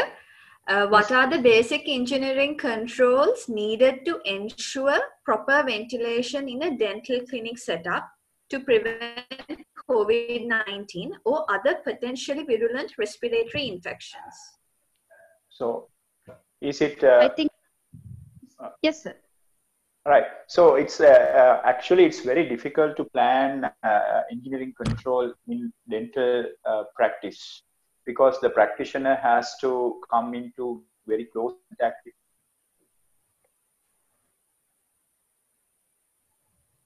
hello can you hear me? Yeah. Yes we can, we can hear you. All right. So it's uh, very uh, difficult to uh, have some practitioner and the patient. So whatever the things that you use like exhaust fans or uh, extraction systems like the engineering might negatively affect. It can uh, uh, form, uh, change the turbulence within the premises. So therefore, it is very uh, engineering control to control aerosols or any other things in uh, closed enclosure if you have to be extra. Only uh, engineering control that I can think of is having a barrier between the patient and yourself. I think again, it is difficult to be, to do uh, in uh, dental practice. Uh, some people use uh, exhaust, local exhaust systems, but still as the routine uh, procedures as Dr. Shanmuganathan uh, mentioned. So therefore, still I would say we have to go uh, with hand hygiene, distancing, and PPE, appropriate PPE when you are encountering. At the moment, we won't be having them because there is no community. In future, you might have to uh, meet two patients with COVID-19 uh, when you analyze the trend. So therefore, it's very difficult to plan uh, engineering controls. Basically, you have practices in order to uh, get uh, stay safe uh, during this COVID era. Okay, thank you, sir. Uh, then again, Dr. Ramya has raised an. Can experts in our field involved in setting guidelines or circulars also work towards issuing such minimum standards so that we can get attention of administrators to improve dental clinics without windows and adequate airflow? That question is uh, is, is uh, focused towards these engineering controls. Yeah. I mean, um, uh, all these things are kind of a research well at the moment. I mean, a lot of uh, engineering research is going on uh, with regards to the safety of uh, the environment with regards to dental practice. And, uh, very recently, we got down one um, uh, engineering person from Moratuwa University. I mean, he's a professor in environmental engineering.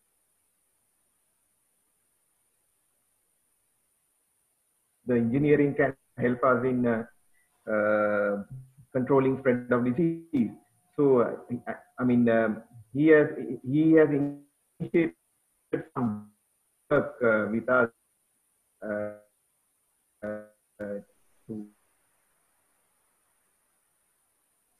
around the world. some kind of research is going on with regards to the safety of dental clinics from the engineering aspect so in future of course we will be i mean we have some hope that we can we can come out with a kind of a guideline uh, which can be adapted in sri lankan setup. Uh, but for the time being it's uh, uh in kind of a research stage. Thank you sir. So it's basically it's basically the good work practice that we have to follow. Yeah. okay thank you sir.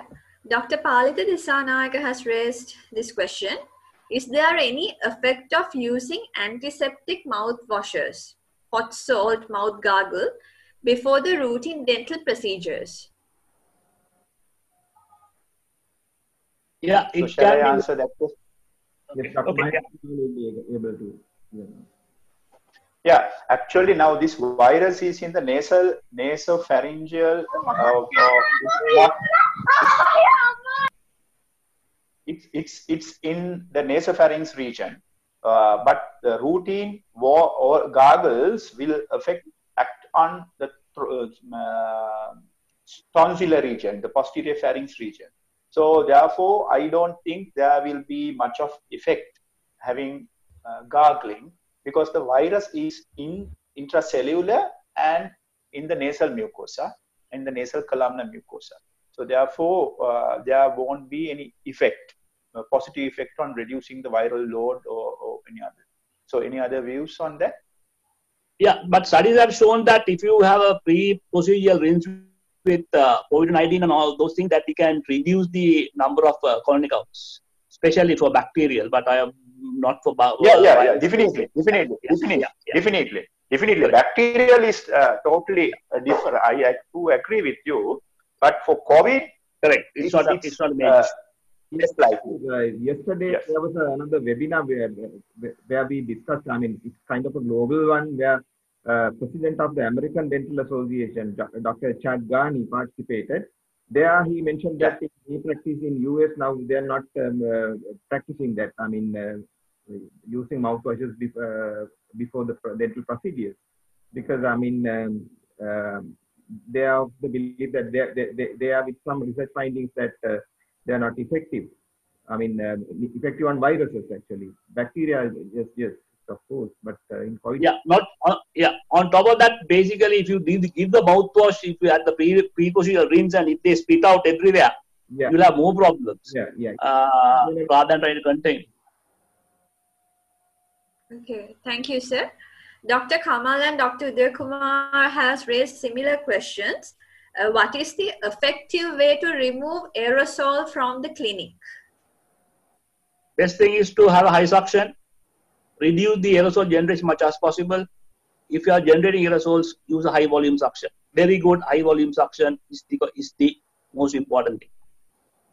Because you know, because if I said initially, because basically if you look at the droplets, basically uh, droplets consist of 40% surface is 40% and only 20% is uh, aerosolized.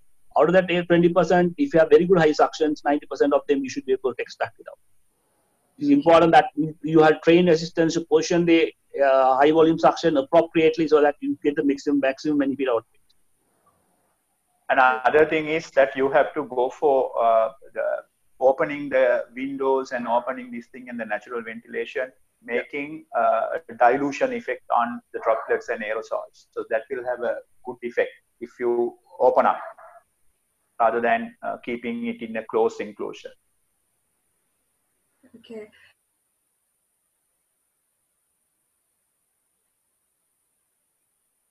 Got his answer as well. Dr. Dhammika Asalage uh, has raised this question. Please do discuss above any about any available case study of COVID-19 transmission happened through dentists, dental procedures recorded. So, So uh, far, none. Yeah, as per the current knowledge, there are no any reported ca- uh, cases of spread of uh, uh, COVID-19 through dental cleaning. Not only COVID They are 19, not- even there aren't any reported cases of any any spread of infection.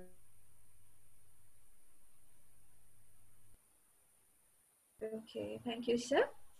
Uh, Dr. Nilmini Abhay has raised this question. As there are no COVID patients in the community, is it necessary to use N95 mask for aerosol generating procedures? Because of it, we can't start normal procedures as we are always doing AGP. According to yesterday's discussion, even Australia is using. Uh, sorry, the question is not complete. I mean, what what she, what she says is that uh, uh, uh, in yesterday's discussion, uh, uh, it was revealed that Australia is also not using uh, N95 mask for uh, aerosol, generating procedures right now. Uh, that's what she's highlighting. Uh, I think in Australia, the, I mean, the, they have almost contained uh, the spread. I mean, uh, there are some states that we don't get any case. I mean, number of uh, weeks now there are no cases. So I, I don't I don't see any any uh, rationale in using uh, N95 masks there. Uh, um, but uh, in uh, Sri Lankan context, uh, yet again uh, we don't get any community spread right now. So uh, Dr. Suresh Shanmuganathan, Yeah, as of I think as of now we don't need N95, right? As of this time because we don't have any community spread and we don't have any any risk of infection. So at the moment you don't have to do N95, but you need to make sure that you are updating yourself and see what's what's going to happen in the future. And other thing that you need to have a stockpile of items in order to if, to face uh, uh, the any Yeah. any future trends Exactly. rather than Yeah, yeah, discouraging that you have, Yeah. you have to get down True, uh, true. mask and Exactly. keep it ready. Exactly. Okay, thank you, sir. Uh, Dr. Mohammed Hanafi has raised this question. Can you educate about COVID 19 reinfection? Shall I Okay. talk on that, please? Yes, sir. Actually, COVID 19, once you get the infection, it produces effective antibodies and you won't be getting uh, reinfection. So, that is the latest knowledge. And we don't know how long the immunity lasts. So, with the latest uh, uh, the, uh, article says the immunity lasts more than six months. So, that means that uh, if one person gets the infection, he won't be getting a reinfection due to the same virus. Maybe with another type of coronavirus, but not with SARS-CoV-2. Okay, thank you, sir. Uh, Udari, the- Udari. yes, Yeah, can I interrupt, Udari? yes, sure. Yeah, Udari, uh, I think we can allow few uh, live questions as well uh, if anybody wants to uh, share their ideas. Okay, sir. Okay, okay, Dr. Sumudu. Um, uh, we have another question by Dr. Dilrukshi Amugode. How do we disinfect N95 masks? Uh, shall I talk again? Yeah. Yes, fine. Yeah. So now uh, this N95 mask reusing as a crisis uh, procedure. So you can use N95 mask for extended use. extended duration. So that is called extended use, And you can reprocess the N95 mask. So there are two ways of reprocessing N95 mask. Actually, these are not recommended practices, but are advocated in crisis situation. For example, you can use hydrogen peroxide vapor, dry vapor to reprocess the mask. And at the same time, you can use UVC, ultraviolet uh, light C range to reprocess. So those are the two methods uh, recognized by CDC at the moment. We at Kandy, we use the uh, dry hydrogen peroxide vapor uh, decontaminating and reprocessing of N95 mask. So if somebody is around Kandy and if you have some mask, if, if you want to get it reprocessed, you can send it to us and we will be able to help you with reprocessing the mask. And uh, Udari, Yes. Uh, may I interrupt? Yes, sure. Uh, since uh, it was a discussion about this N95 mask, I, I myself have a question. Uh, so uh, n- nowadays, I, I've seen a lot of uh, our colleagues are purchasing, and it seem to be readily available. This KN95 mask. So, what is your concern about that? I, I think it's not been authorized by NIOSH, uh, but uh, any uh, circumstance under emergency use has it been authorized by the FDA?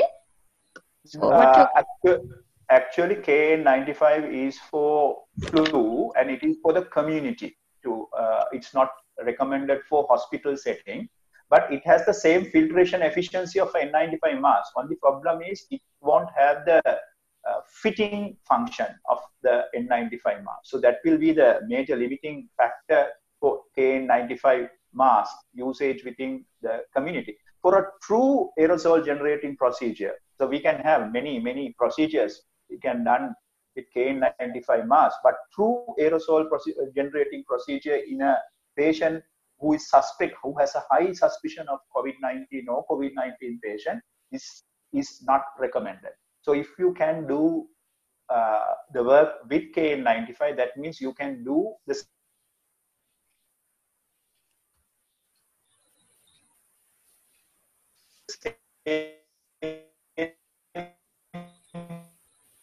work with We lost you.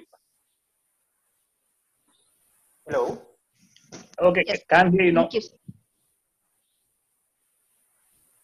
So kn95 basically you can't replace n95 mask with kn95 mask so you have to be extra careful when you are using n95 kn95 so it won't have the fitting function Thank you. Okay, okay, thank you, sir. Uh, Dr. Jayasuriya has directed this question to Dr. Nilantha.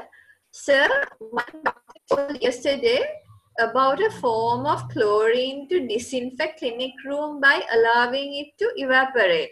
I think uh, he, his uh, question, like he would like to know your comments, sir. Yes, um, yes. Uh, um, uh, there was some uh, information in, yesterday's uh, meeting, but I didn't get it properly. I mean, Dr. Mahen Kotala will be able to add something. I mean, is there any any substance that we can operate in a clinic to get the clinic?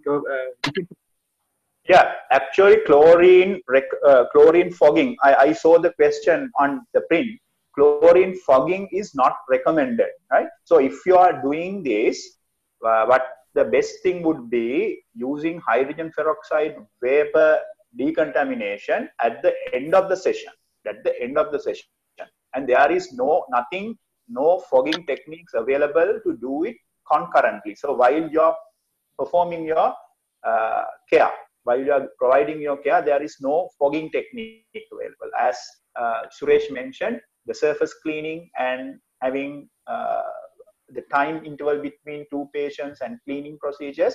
Other than that, there is no concurrent.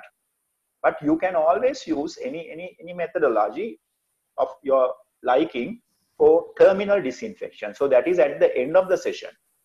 And even chlorine fogging or evaporating I don't think that will have much effect because it, it has to go, it has to go, and you have to use it in adequate concentration. So adequate chlorine concentration means it's it's high toxicity.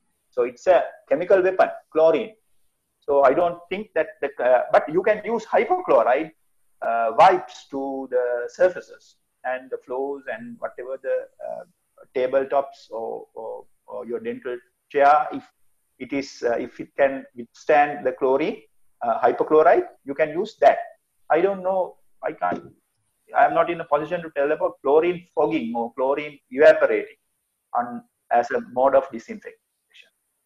Yeah, just a comment. Uh, I think uh, because now this uh, hypochlorite better avoid on dental chair because it tends to discolor. So better to use uh, uh, better to use uh, alcohol, seventy percent alcohol for for dental chairs, and also avoid hypochlorites on metal surfaces because it has a tendency to corrode. Yeah, yeah. Those are two things you should avoid. Okay, so thank you.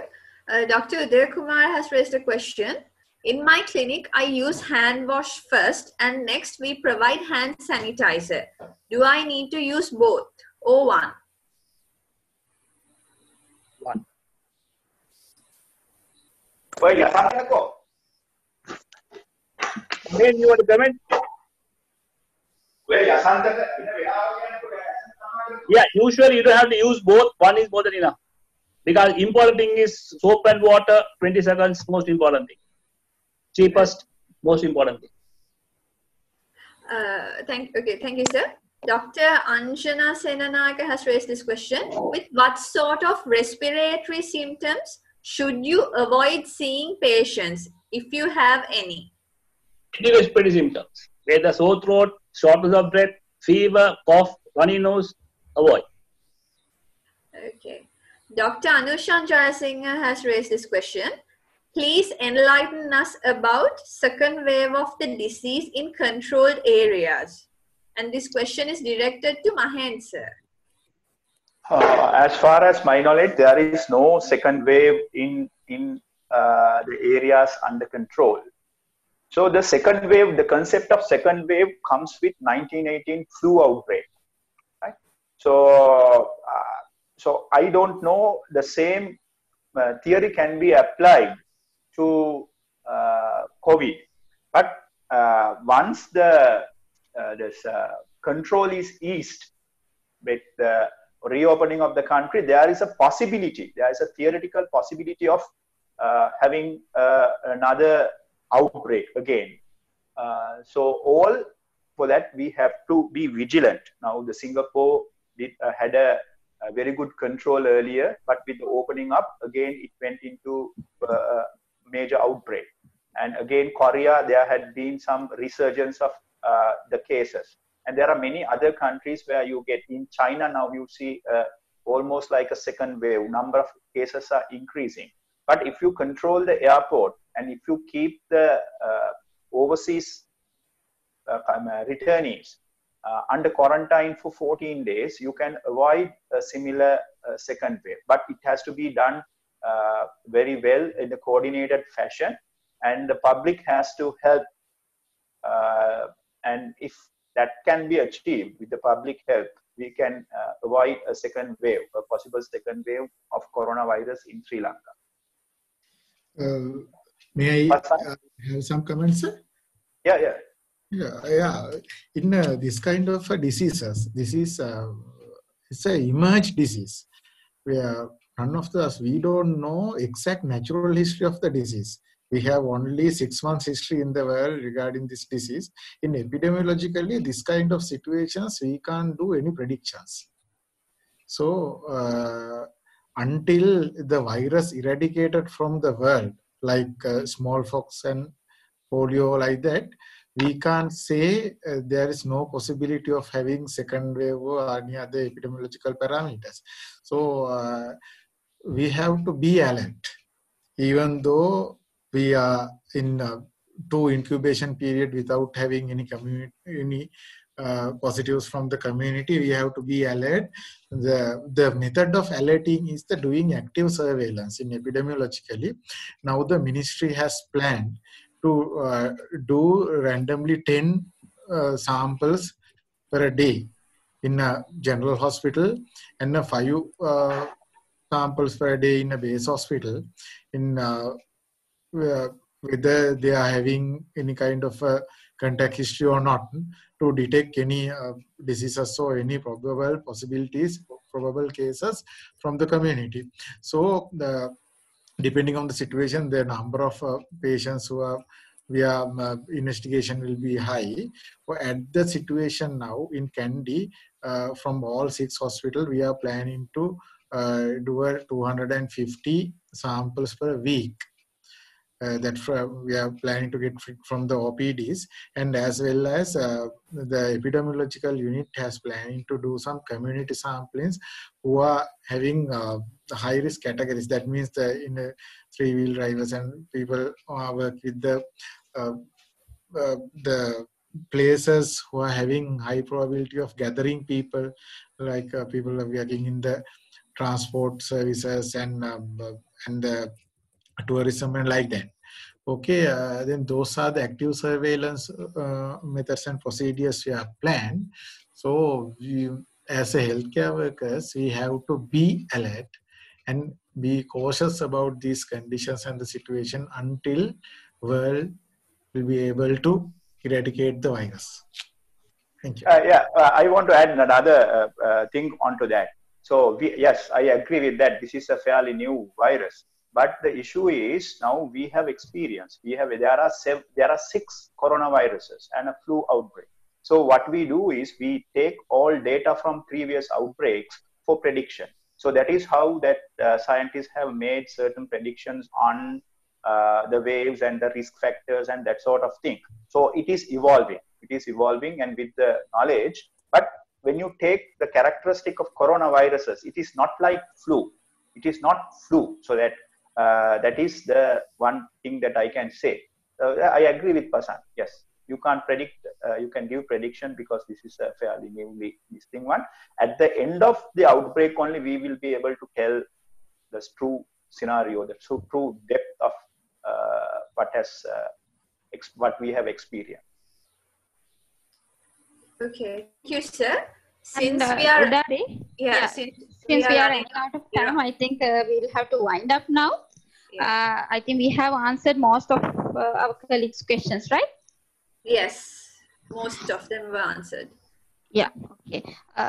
so I will take this an opportunity to thank all the panelists uh, for joining with us. Uh, uh, sir, Dr. Nilantha Ratnayake, Suresh Shanmuganathan, sir, Dr. Pasanja, and Sir Dr.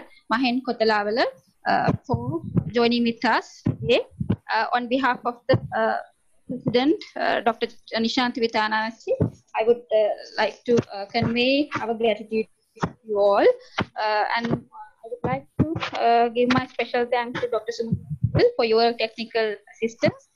Uh, and all our council members uh, and the main branch. Uh, so this, this, this was the first a webinar of a series of webinars that has been organized by the SLDA Kandy. So we hope uh, you will you will also join with us uh, for the uh, upcoming events as well. so thank you very much and good night. Thank you for all the